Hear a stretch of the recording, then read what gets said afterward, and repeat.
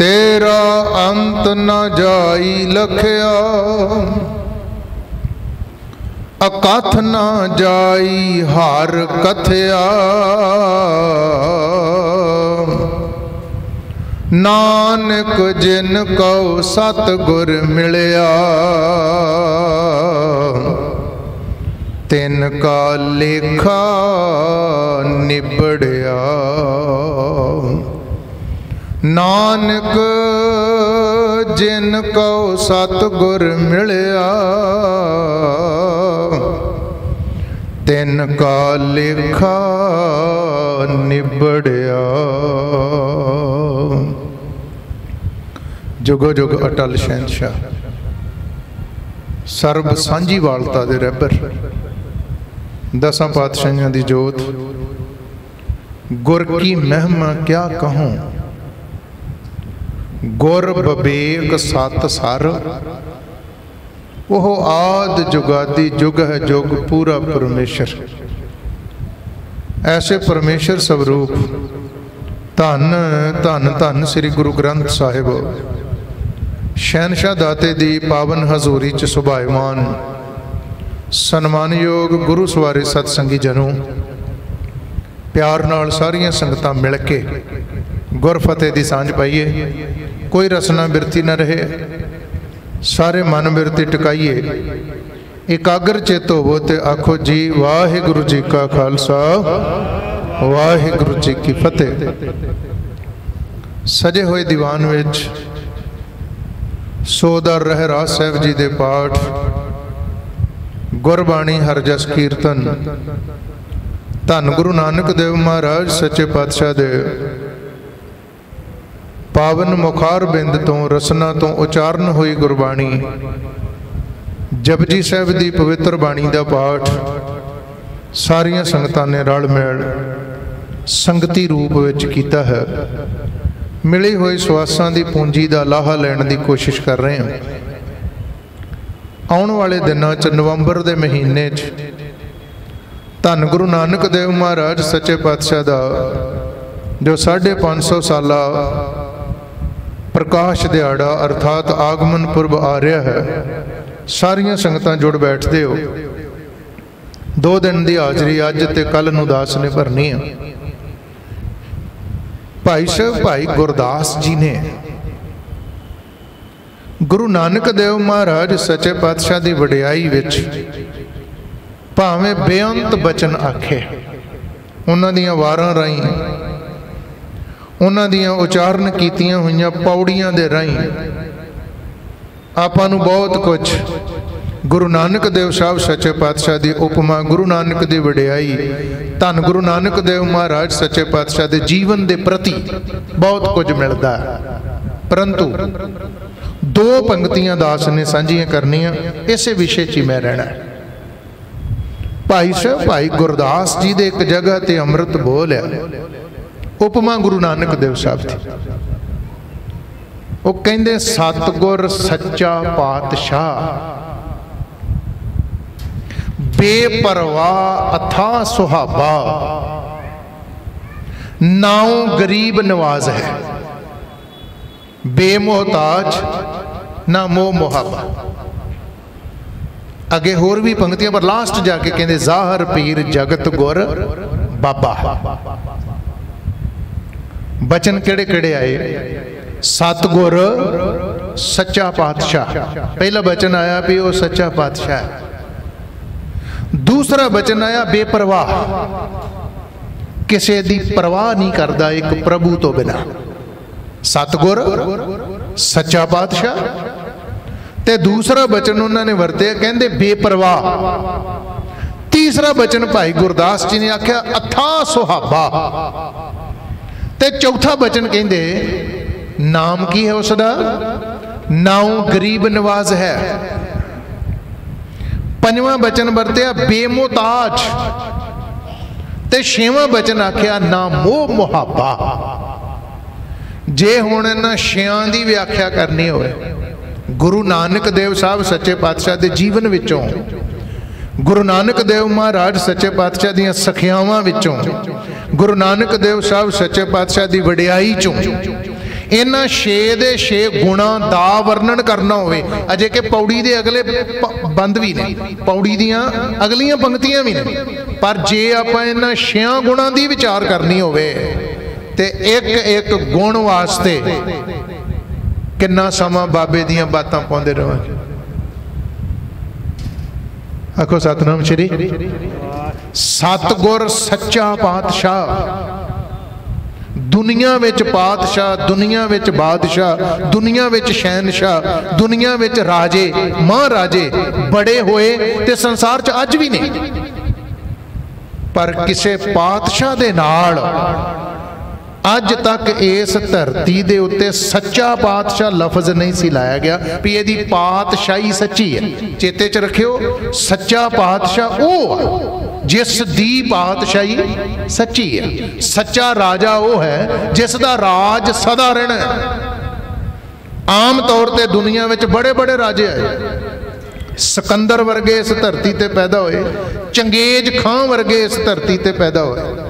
ਭਾਵੇਂ ਉਹ ਸਿਕੰਦਰ ਵਰਗੇ ਹੋਣ, ਭਾਵੇਂ ਉਹ ਚੰਗੇਜ਼ ਖਾਂ ਵਰਗੇ ਹੋਣ, ਇੱਥੋਂ ਤੱਕ ਨਪੋਲੀਅਨ ਵਰਗੇ ਲੋਕ ਜਿਸ ਨੂੰ ਬੋਨਾਪਾਰਟ ਵਰਲਡ ਕਹਿੰਦਾ ਹੈ ਅੱਜ, ਸਾਰੀ ਦੁਨੀਆ। ਐਸੇ ਐਸੇ ਰਾਜੇ ਭਾਰਤ ਦੇਸ਼ ਦੀ ਗੱਲ ਕਰੀਏ, ਔਰੰਗਜ਼ੇਬ ਵਰਗੇ, ਜਹਾਂਗੀਰ ਵਰਗੇ, ਬਹਾਦਰ ਸ਼ਾਹ ਵਰਗੇ, ਇਸ ਧਰਤੀ ਦੇ ਉੱਤੇ ਜਹਾਂਗੀਰ ਵਰਗੇ, ਬਾਬਰ ਤਲਵਾਰ ਦੇ ਜ਼ੋਰ ਨਾਲ ਰਾਜ ਕਰਨ ਵਾਲਾ, ਉਹ ਬਾਦਸ਼ਾਹ ਇਸ ਧਰਤੀ ਤੇ ਪੈਦਾ ਹੋਏ। ਸੱਚਾ ਪਾਤਸ਼ਾਹ ਤਾਂ ਨਹੀਂ ਨਾ, ਸੱਚੇ ਤੇ ਨਹੀਂ ਨਾ। ਅੱਜ ਤਾਂ ਨਹੀਂ ਉਹਨਾਂ ਦੀ ਪਾਤਸ਼ਾਹੀ।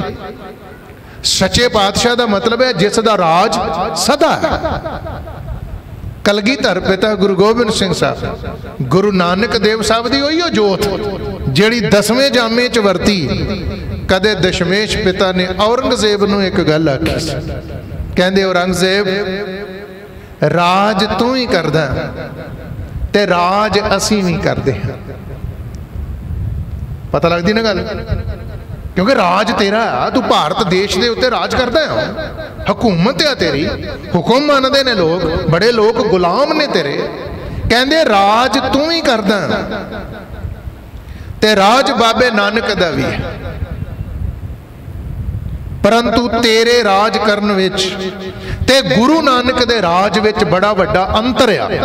ਤੇ ਜੇ ਤੂੰ ਪੁੱਛੇ ਵੀ ਉਹ ਕਿਹੜਾ, ਤੇ ਸਾਹਿਬ ਸੱਚੇ ਪਾਤਸ਼ਾਹ ਪਤਾ ਕੀ ਆਖਦੇ? ਕਹਿੰਦੇ, ਤੂੰ ਰਾਜ ਕਰਦਾ ਲੋਕਾਂ ਦੇ ਸਰੀਰਾਂ ਤੇ।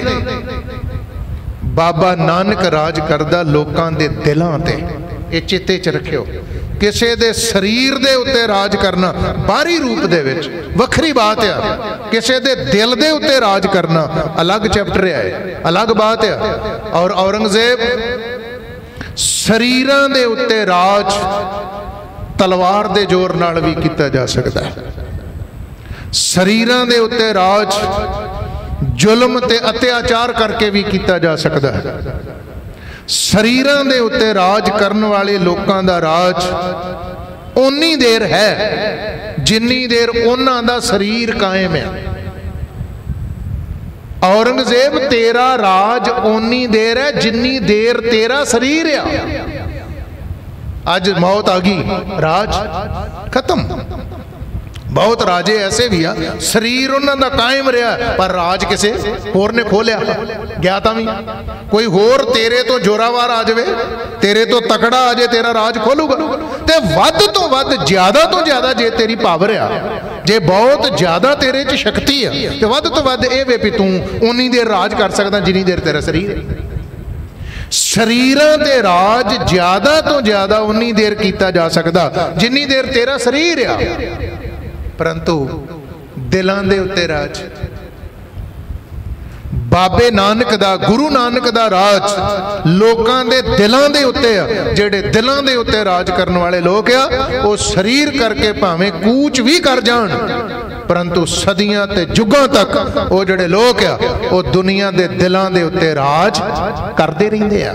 ਲੋਕਾਂ ਦੇ ਦਿਲਾਂ ਤੇ ਰਾਜ ਕਰਦੇ ਰਹਿੰਦੇ ਆ ਗੁਰੂ ਨਾਨਕ ਦਾ ਰਾਜ ਇਸ ਕਰਕੇ ਆ, ਕਿਉਂਕਿ ਉਹਦਾ ਰਾਜ ਅੱਜ ਵੀ ਹੈ। ਔਰ ਕਮਾਲ ਦੀ ਗੱਲ ਪਤਾ ਕੀ ਜੇ? ਭਾਈ ਸਾਹਿਬ, ਭਾਈ ਗੁਰਦਾਸ ਜੀ ਨੇ ਜਿਹੜਾ ਬਚਨ ਦੱਸਿਆ, ਉਹ ਕਹਿੰਦੇ ਜਿਹੜੀ ਸਹਿਬੀ ਆ ਬਾਬੇ ਨਾਨਕ ਦੀ, ਜਿਹੜਾ ਰਾਜ ਆ ਗੁਰੂ ਨਾਨਕ ਦਾ, ਕਿੱਥੋਂ ਤੱਕ ਆ ਭਾਰਤ ਦੇਸ਼ ਤੱਕ ਆ? ਏਸ਼ੀਆ ਤੱਕ ਆ ਸਿਰਫ ਉਹਦਾ ਰਾਜ? ਭਾਈ ਗੁਰਦਾਸ ਕਹਿੰਦੇ, ਮੇਰੀ ਕਲਮ, ਮੇਰੀ ਰਸਨਾ, ਇਹ ਬਿਆਨ ਹੀ ਨਹੀਂ ਕਰ ਸਕਦੀ ਕਿ ਗੁਰੂ ਨਾਨਕ ਤੇਰੀ ਸਹਿਬੀ, ਤੇਰੀ ਮਲਕੀਅਤ, ਤੇਰਾ ਰਾਜ ਕਿੱਥੋਂ ਤੱਕ ਹੈ ਬਚਨ ਸੁਣੀ ਜਾਇਓ। ਕਹਿੰਦੇ, ਸਤਗੁਰ ਸੱਚਾ ਪਾਤਸ਼ਾਹ ਬੇਪਰਵਾਹ ਅਥਾ ਸੁਹਾਬਾ। ਅਥਾ ਸੁਹਾਬਾ ਦਾ ਅਰਥ ਹੈ, ਜਿਹੜੀ ਤੇਰੀ ਸਹਿਬੀ ਆ, ਜਿਹੜੀ ਤੇਰੀ ਮਾਲਕੀ ਆ ਜਿਹੜਾ ਤੇਰਾ ਰਾਜ ਕਿੱਥੋਂ ਤੱਕ ਆ? ਅਥਾ ਸੁਹਾਬਾ ਅਥਾ ਦਾ ਮਤਲਬ ਹੁੰਦਾ, ਜਿਸ ਦਾ ਵਰਣਨ ਨਹੀਂ ਕੀਤਾ ਜਾ ਸਕਦਾ, ਜਿਸ ਦੀ ਥਾਂ ਨਹੀਂ ਪਾਈ ਜਾ ਸਕਦੀ, ਜਿਸ ਨੂੰ ਬਿਆਨ ਨਹੀਂ ਕੀਤਾ ਜਾ ਸਕਦਾ, ਜਿਸ ਨੂੰ ਕੋਈ ਦਿਮਾਗ, ਜਿਸ ਨੂੰ ਕੋਈ ਜੀਬ ਜਿਸ ਨੂੰ ਕੋਈ ਕਲਮ ਬਿਆਨ ਨਾ ਕਰ ਸਕਦੀ ਹੋਵੇ, ਉਹਨੂੰ ਕਹਿੰਦੇ ਅਥਾ ਤੇਰੀ ਸਾਹਿਬੀ, ਤੇਰੀ ਮਾਲਕੀ। ਧੰਨ ਗੁਰੂ ਨਾਨਕ, ਤੇਰਾ ਰਾਜ ਅਥਾਇਆ ਵਰਣਨ ਕਰਨ ਵਾਲਾ ਅੱਜ ਤੱਕ ਕਿਸੇ ਮਾਂ ਨੇ ਇਸ ਧਰਤੀ ਤੇ ਪੈਦਾ ਹੀ ਨਹੀਂ ਕੀਤਾ। ਸੋਚ ਕੇ ਵੇਖਿਆ ਜੇ। ਇਥੋਂ ਤੱਕ ਖਸਮ ਦੀ ਬਾਣੀ ਚ ਮੈਂ ਬਚਨ ਪੜੇ ਗੁਰੂ ਗ੍ਰੰਥ ਸਾਹਿਬ ਚ। ਕਹਿੰਦੇ ਜਿਸ ਕਾ ਕਹਿਆ, ਦਰਗਹਿ ਚੱਲੈ। ਸੋ ਕਿਸ ਕੋ ਨਦਰ ਲੈ ਆਵੇ ਤਲੇ। ਸੋਚ ਕੇ ਵੇਖਿਓ। ਜਿਹਦੀ ਕਹੀ ਹੋਈ ਗੱਲ ਰੱਬ ਦੀ ਦਰਗਾਹ ਤੱਕ ਮੰਨੀ ਜਾਂਦੀ ਹੈ, ਪਰਮਾਤਮਾ ਦੀ ਦਰਗਾਹ ਤੱਕ, ਕਿਸੇ ਦਾ ਮੁਤਾਜ ਹੋ ਸਕਦਾ ਹੋ ਕਿਸੇ ਦਾ ਗੁਲਾਮ ਹੋ ਸਕਦਾ ਹੋ ਜਿਸ ਦਾ ਕਿਹਾ ਹੋਇਆ ਬਚਨ ਪ੍ਰਭੂ ਦੀ ਦਰਗਾਹ ਤੱਕ ਕਬੂਲ ਹੈ ਸੋ ਕਿਸ ਕੋ ਨਦਰ ਲੈ ਆਵੇ ਤਲੈ? ਭਾਈ ਸਾਹਿਬ, ਭਾਈ ਗੁਰਦਾਸ ਜੀ ਨੇ ਬਚਨ ਵਰਤੇ, ਸਤਗੁਰ ਸੱਚਾ ਪਾਤਸ਼ਾਹ। ਤੂੰ ਸੱਚਾ ਪਾਤਸ਼ਾਹ ਹੈ। ਕਿਉਂ? ਕਿਉਂਕਿ ਤੇਰੀ ਸਹਿਬੀ ਸਦਾ ਹੈ। ਤੇਰੀ ਪਾਤਸ਼ਾਹੀ ਕਾਇਮ ਰਹਿਣ ਵਾਲੀ ਹੈ। ਵੇਖੋ, ਸਿੱਖ ਵਿਦਵਾਨਾਂ ਨੂੰ ਤੇ ਆਪਾਂ ਬਹੁਤ ਪੜ੍ਹਨੇ ਆ ਜੀ। ਇੱਕ ਵਿਦਵਾਨ ਨੂੰ ਮੈਂ ਪੜਿਆ ਵਿਚਾਰ ਕੇ ਵੇਖਿਆ ਜੇ ਕਦੇ। ਉਹਨਾਂ ਲੋਕਾਂ ਨੇ ਧੰਨ ਗੁਰੂ ਨਾਨਕ ਦੇਵ ਮਹਾਰਾਜ ਸੱਚੇ ਪਾਤਸ਼ਾਹ ਨੂੰ ਕਿੱਥੋਂ ਤੱਕ ਜਾ ਕੇ ਵੇਖਿਆ ਹੋਊਗਾ? ਕੁਝ ਬਾਤਾਂ ਇਹ ਦੋ ਦਿਨਾਂ ਦੇ ਦੀਵਾਨ ਚ ਅੱਜ ਤੇ ਭਲਕੇ। ਕੁਝ ਉਹ ਬਾਤਾਂ ਸਾਂਝੀਆਂ ਕਰਨ ਦਾ ਯਤਨ ਕਰਨ ਦੀ ਕੋਸ਼ਿਸ਼ ਕਰਾਂਗਾ, ਜਿਹੜੀਆਂ ਘੱਟ ਸਾਂਝੀਆਂ ਕੀਤੀਆਂ ਗਈਆਂ। ਥੋੜੀਆਂ ਸਾਂਝੀਆਂ ਕੀਤੀਆਂ ਗਈਆਂ ਬਾਤਾਂ। ਗੁਰੂ ਨਾਨਕ ਸਾਹਿਬ ਦੇ ਜੀਵਨ ਚੋਂ, ਕਿਉਂਕਿ 70 ਸਾਲ ਤੇ 6 ਮਹੀਨੇ, ਤਕਰੀਬਨ 70 ਸਾਲ ਦੇ ਸਰੀਰਕ ਜਾਮੇ ਦਾ ਇਤਿਹਾਸ ਆ ਗੁਰੂ ਨਾਨਕ ਦੇਵ ਮਹਾਰਾਜ ਦਾ, ਜਿਨ੍ਹਾਂ ਦਾ 550 ਸਾਲਾ ਮਨਾ ਰਹੇ ਆਪਾਂ। ਸਰੀਰਕ ਜਾਮੇ ਚ। ਬਾਤ ਪਾ ਰਿਹਾ ਸਤਿਗੁਰੂ ਤੇ ਅੱਜ ਵੀ ਆ। ਬਾਬਾ ਨਾਨਕ ਤੇ ਅੱਜ ਵੀ ਆ। ਉਹੀ ਦਲੀਲ ਦੇਣ ਲੱਗਾ ਵੀ ਸਤਿਗੁਰ ਸੱਚਾ ਪਾਤਸ਼ਾਹ ਕੀ ਆ? ਅੰਗਰੇਜ਼ ਵਿਦਵਾਨ ਹੋਇਆ ਇੱਕ। ਇੰਗਲੈਂਡ ਦਾ ਰਹਿਣ ਵਾਲਾ ਸੀ ਯੂਕੇ ਦਾ। ਇਹਦਾ ਨਾਮ ਆ ਗ੍ਰੀਨ ਲੀਜ਼ ਕਿਤੇ ਤੁਹਾਨੂੰ ਗੂਗਲ ਦੇ ਉੱਤੇ ਮੌਕਾ ਮਿਲੇ, ਕਦੇ ਇਹਨੂੰ ਸਰਚ ਕਰਨ ਦੀ ਕੋਸ਼ਿਸ਼ ਕਰਿਆ ਜੇ। ਇੰਗਲਿਸ਼ ਦੇ ਵਿੱਚ ਉਹਨੇ ਇੱਕ ਬੁੱਕ ਲਿਖੀ ਆ, ਦਸਾਂ ਪਾਤਸ਼ਾਹੀਆਂ ਦਾ ਇਤਿਹਾਸ ਲਿਖਦਾ ਉਹ। ਉਹਦੀ ਬੁੱਕ ਦਾ, ਉਹਦੀ ਕਿਤਾਬ ਦਾ ਨਾਮ ਹੈ ਹਿਸਟਰੀ ਆਫ ਦੀ ਗੁਰੂਸ ਦਸਾਂ ਪਾਤਸ਼ਾਹੀਆਂ ਦਾ ਇਤਿਹਾਸ ਲਿਖਦਾ, ਅੰਗਰੇਜ਼ ਵਿਦਵਾਨ। ਪਰ ਬੜੀ ਕਮਾਲ ਦੀ ਗੱਲ। ਉਹ ਵਿਦਵਾਨ ਜਦੋਂ ਇਤਿਹਾਸ ਦਸਾਂ ਪਾਤਸ਼ਾਹੀਆਂ ਦਾ ਲਿਖਦਾ ਨਾ ਜੀ ਤੇ ਜਦੋਂ ਦਸਾਂ ਪਾਤਸ਼ਾਹੀਆਂ ਦੇ ਉਹ ਨਾਂ ਲਿਖਦਾ ਉਹਦੇ ਲਿਖਣ ਦਾ ਤਰੀਕਾ ਵੇਖਿਓ ਕਿੱਡਾ ਵਧੀਆ ਉਹ ਪਤਾ ਕੀ ਲਿਖਦਾ ਜੀ? ਇੱਕ ਨੰਬਰ ਪਾ ਕੇ ਨਾ, ਕਹਿੰਦਾ ਪਹਿਲੇ ਪਾਤਸ਼ਾਹ ਸ੍ਰੀ ਗੁਰੂ ਨਾਨਕ ਦੇਵ ਜੀ। ਠੀਕ ਹੈ? ਪਤਾ ਲੱਗ ਗਿਆ ਵੀ ਪਹਿਲੇ ਪਾਤਸ਼ਾਹ ਗੁਰੂ ਨਾਨਕ ਦੇਵ ਹੈ। ਦੋ ਨੰਬਰ ਪਾ ਕੇ। ਅੱਗੇ ਪਤਾ ਕੀ ਲਿਖਦਾ? ਕਹਿੰਦਾ, ਦੂਜੇ ਪਾਤਸ਼ਾਹ ਗੁਰੂ ਅੰਗਦ ਦੇਵ। ਤੇ ਅੱਗੇ ਬ੍ਰੈਕਟ ਚ ਪਤਾ ਕੀ ਪਾ ਦਿੰਦਾ? ਨਾਨਕ। ਕਹਿੰਦਾ, ਦੂਸਰੇ ਪਾਤਸ਼ਾਹ ਗੁਰੂ ਅੰਗਦ ਦੇਵ, ਨਾਨਕ। ਕਹਿੰਦਾ, ਨਾਮ ਸਰੀਰ ਦਾ ਅੰਗਦ ਦੇਵ ਹੋ ਗਿਆ ਆ। ਪਰ ਹੈਗਾ ਕੌਣ ਹੈ ਬੈਠਾ ਗੱਦੀ ਤੇ? ਪਤਾ ਲੱਗਦੀ ਜੀ ਗੱਲ? ਆਖੋ ਸਤਨਾਮ ਸ਼੍ਰੀ। ਇਹ ਗ੍ਰੀਨ ਲੀਜ਼ ਨੇ ਲਿਖਿਆ ਅੰਗਰੇਜ਼ ਵਿਦਵਾਨ ਨੇ। ਜਦੋਂ ਦੂਸਰੀ ਪਾਤਸ਼ਾਹ ਲਿਖਦਾ, ਕਹਿੰਦਾ, ਦੂਜੇ ਪਾਤਸ਼ਾਹ ਗੁਰੂ ਅੰਗਦ ਦੇਵ ਨਾਨਕ। ਕਹਿੰਦਾ, ਸਰੀਰ ਦਾ ਨਾਮ ਅੰਗਦ ਦੇਵ ਹੈ। ਇਹ ਅੰਗਦ ਦੇਵ ਸਰੀਰ ਕਰਕੇ ਗੁਰਤਾ ਗੱਦੀ ਤੇ ਬਹਿ ਗਏ ਨੇ। ਪਰ ਅਸਲ ਵਿੱਚ ਬੈਠਾ ਹੈ ਕੌਣ? ਗੁਰੂ ਨਾਨਕ। ਗੁਰੂ ਨਾਨਕ ਬੈਠਾ। ਜੋਤ ਓਹਾ, ਜੁਗਤ ਸਾਏ, ਸਹਿਕਾਇਆ ਫੇਰ ਪਲਟੀਐ। ਭਾਈ ਸਾਹਿਬ, ਭਾਈ ਗੁਰਦਾਸ ਜੀ ਨੇ ਵੀ ਇਹਦੀ ਦਲੀਲ ਦਿੱਤੀ। ਜਿਹੜਾ ਦਾਸ ਨੇ ਬਚਨ ਵਰਤਿਆ, ਇਹ ਭਾਈ ਸਤਾ ਬਲਵੰਡਾ ਜੀ ਦੇ ਬੋਲ ਜੋਤ ਓਹਾ, ਜੁਗਤ ਸਾਏ, ਸਹਿਕਾਇਆ ਫੇਰ ਪਲਟੀਐ। ਭਾਈ ਸਾਹਿਬ, ਭਾਈ ਗੁਰਦਾਸ ਜੀ, ਪਤਾ ਕੀ ਫਰਮਾਉਂਦੇ ਸੀ ਉਹਨਾਂ ਨੇ ਇੱਕ ਬਚਨ ਉਚਾਰਨ ਕੀਤਾ। ਉਹ ਕਹਿੰਦੇ, ਥਾਪਿਆ ਲੈਣਾ ਜੀਵਨ ਦੇ, ਗੁਰ ਆਈ ਸਿਰ, ਛਤਰ ਫਰਾਇਆ। ਤੇ ਜਦੋਂ ਗ੍ਰੀਨ ਲੀਜ਼ ਤੀਜਾ ਨੰਬਰ ਲਿਖਦਾ, ਭਾਵ ਸਾਰਿਆਂ ਦਾ ਜ਼ਿਕਰ ਕੀਤਾ ਜਾ ਸਕਦਾ, ਕੇਵਲ ਦਲੀਲ ਮਾਤਰ ਦੋ ਹੋਰ ਨਾਂ ਲੈ ਦੇਣਾ ਉਹ ਕਹਿੰਦਾ, ਤੀਜੇ ਪਾਤਸ਼ਾਹ, ਗੁਰੂ ਅਮਰਦਾਸ ਨਾਨਕ। ਅੱਗੇ ਨਾਨਕ ਲਿਖਦਾ, ਹਰ ਇੱਕ ਗੁਰੂ ਦੇ ਅੱਗੇ ਲਿਖਦਾ ਨਾਨਕ। ਕਹਿੰਦਾ, ਅਸਲ ਵਿੱਚ ਗੁਰਤਾ ਗੱਦੀ ਤੇ ਬਾਬਾ ਨਾਨਕ ਹੀ ਬੈਠਾ। ਤੇ ਕਮਾਲ ਦੀ ਗੱਲ ਦੱਸਾਂ ਦਸਾਂ ਪਾਤਸ਼ਾਹਾਂ ਦੇ ਨਾਮ ਲਿਖਦਾ ਲਿਖਦਾ ਗੁਰੂ ਅਮਰਦਾਸ ਨਾਨਕ, ਗੁਰੂ ਰਾਮਦਾਸ ਨਾਨਕ, ਗੁਰੂ ਅਰਜਨ ਦੇਵ ਨਾਨਕ, ਗੁਰੂ ਹਰਗੋਬਿੰਦ ਸਾਹਿਬ ਹੀ ਗੁਰੂ ਨਾਨਕ, ਗੁਰੂ ਹਰ ਰਾਏ ਨਾਨਕ, ਗੁਰੂ ਹਰਕ੍ਰਿਸ਼ਨ ਸਾਹਿਬ ਗੁਰੂ ਨਾਨਕ, ਗੁਰੂ ਤੇਗ ਬਹਾਦਰ ਗੁਰੂ ਨਾਨਕ ਤੇ ਜਦੋਂ ਲਾਸਟ 'ਚ ਲਿਖਦਾ ਨਾ ਜੀ, ਕਹਿੰਦਾ ਗੁਰੂ ਗੋਬਿੰਦ ਸਿੰਘ ਨਾਨਕ ਤੇ ਦੁਨੀਆ ਦੇ ਲੋਕੋ ਤੇ ਗੁਰੂ ਕੇ ਸਿੱਖ ਗੁਰੂ ਨਾਲ ਪਿਆਰ ਕਰਨ ਵਾਲਿਓ, ਜੇ ਗੁਰੂ ਗੋਬਿੰਦ ਸਿੰਘ ਹੀ ਗੁਰ ਨਾਨਕ ਤੇ ਕਹਿੰਦਾ ਜਿੱਦਾਂ ਬਾਕੀ ਗੁਰੂਆਂ ਨੇ ਅੱਗੇ ਤੋਂ ਅੱਗੇ ਗੁਰਤਾ ਗੱਦੀ ਦਿੱਤੀ ਤੇ ਜਿਹੜੇ ਢੰਗ ਨਾਲ ਬਾਬੇ ਨਾਨਕ ਨੇ ਗੁਰੂ ਅੰਗਦ ਦੇਵ ਨੂੰ ਗੁਰਤਾ ਗੱਦੀ ਦਿੱਤੀ, ਉਸੇ ਤਰੀਕੇ ਨਾਲ ਕਲਗੀਧਰ ਪਾਤਸ਼ਾਹ ਨੇ ਗੁਰੂ ਗ੍ਰੰਥ ਸਾਹਿਬ ਨੂੰ ਗੁਰਤਾ ਗੱਦੀ ਦਿੱਤੀ। ਤੇ ਹੁਣ ਭਲਾ ਕਿੱਥੇ ਹੋਣੀ ਗੱਲ? ਪਤਾ ਲੱਗੀ ਨਾ ਗੱਲ?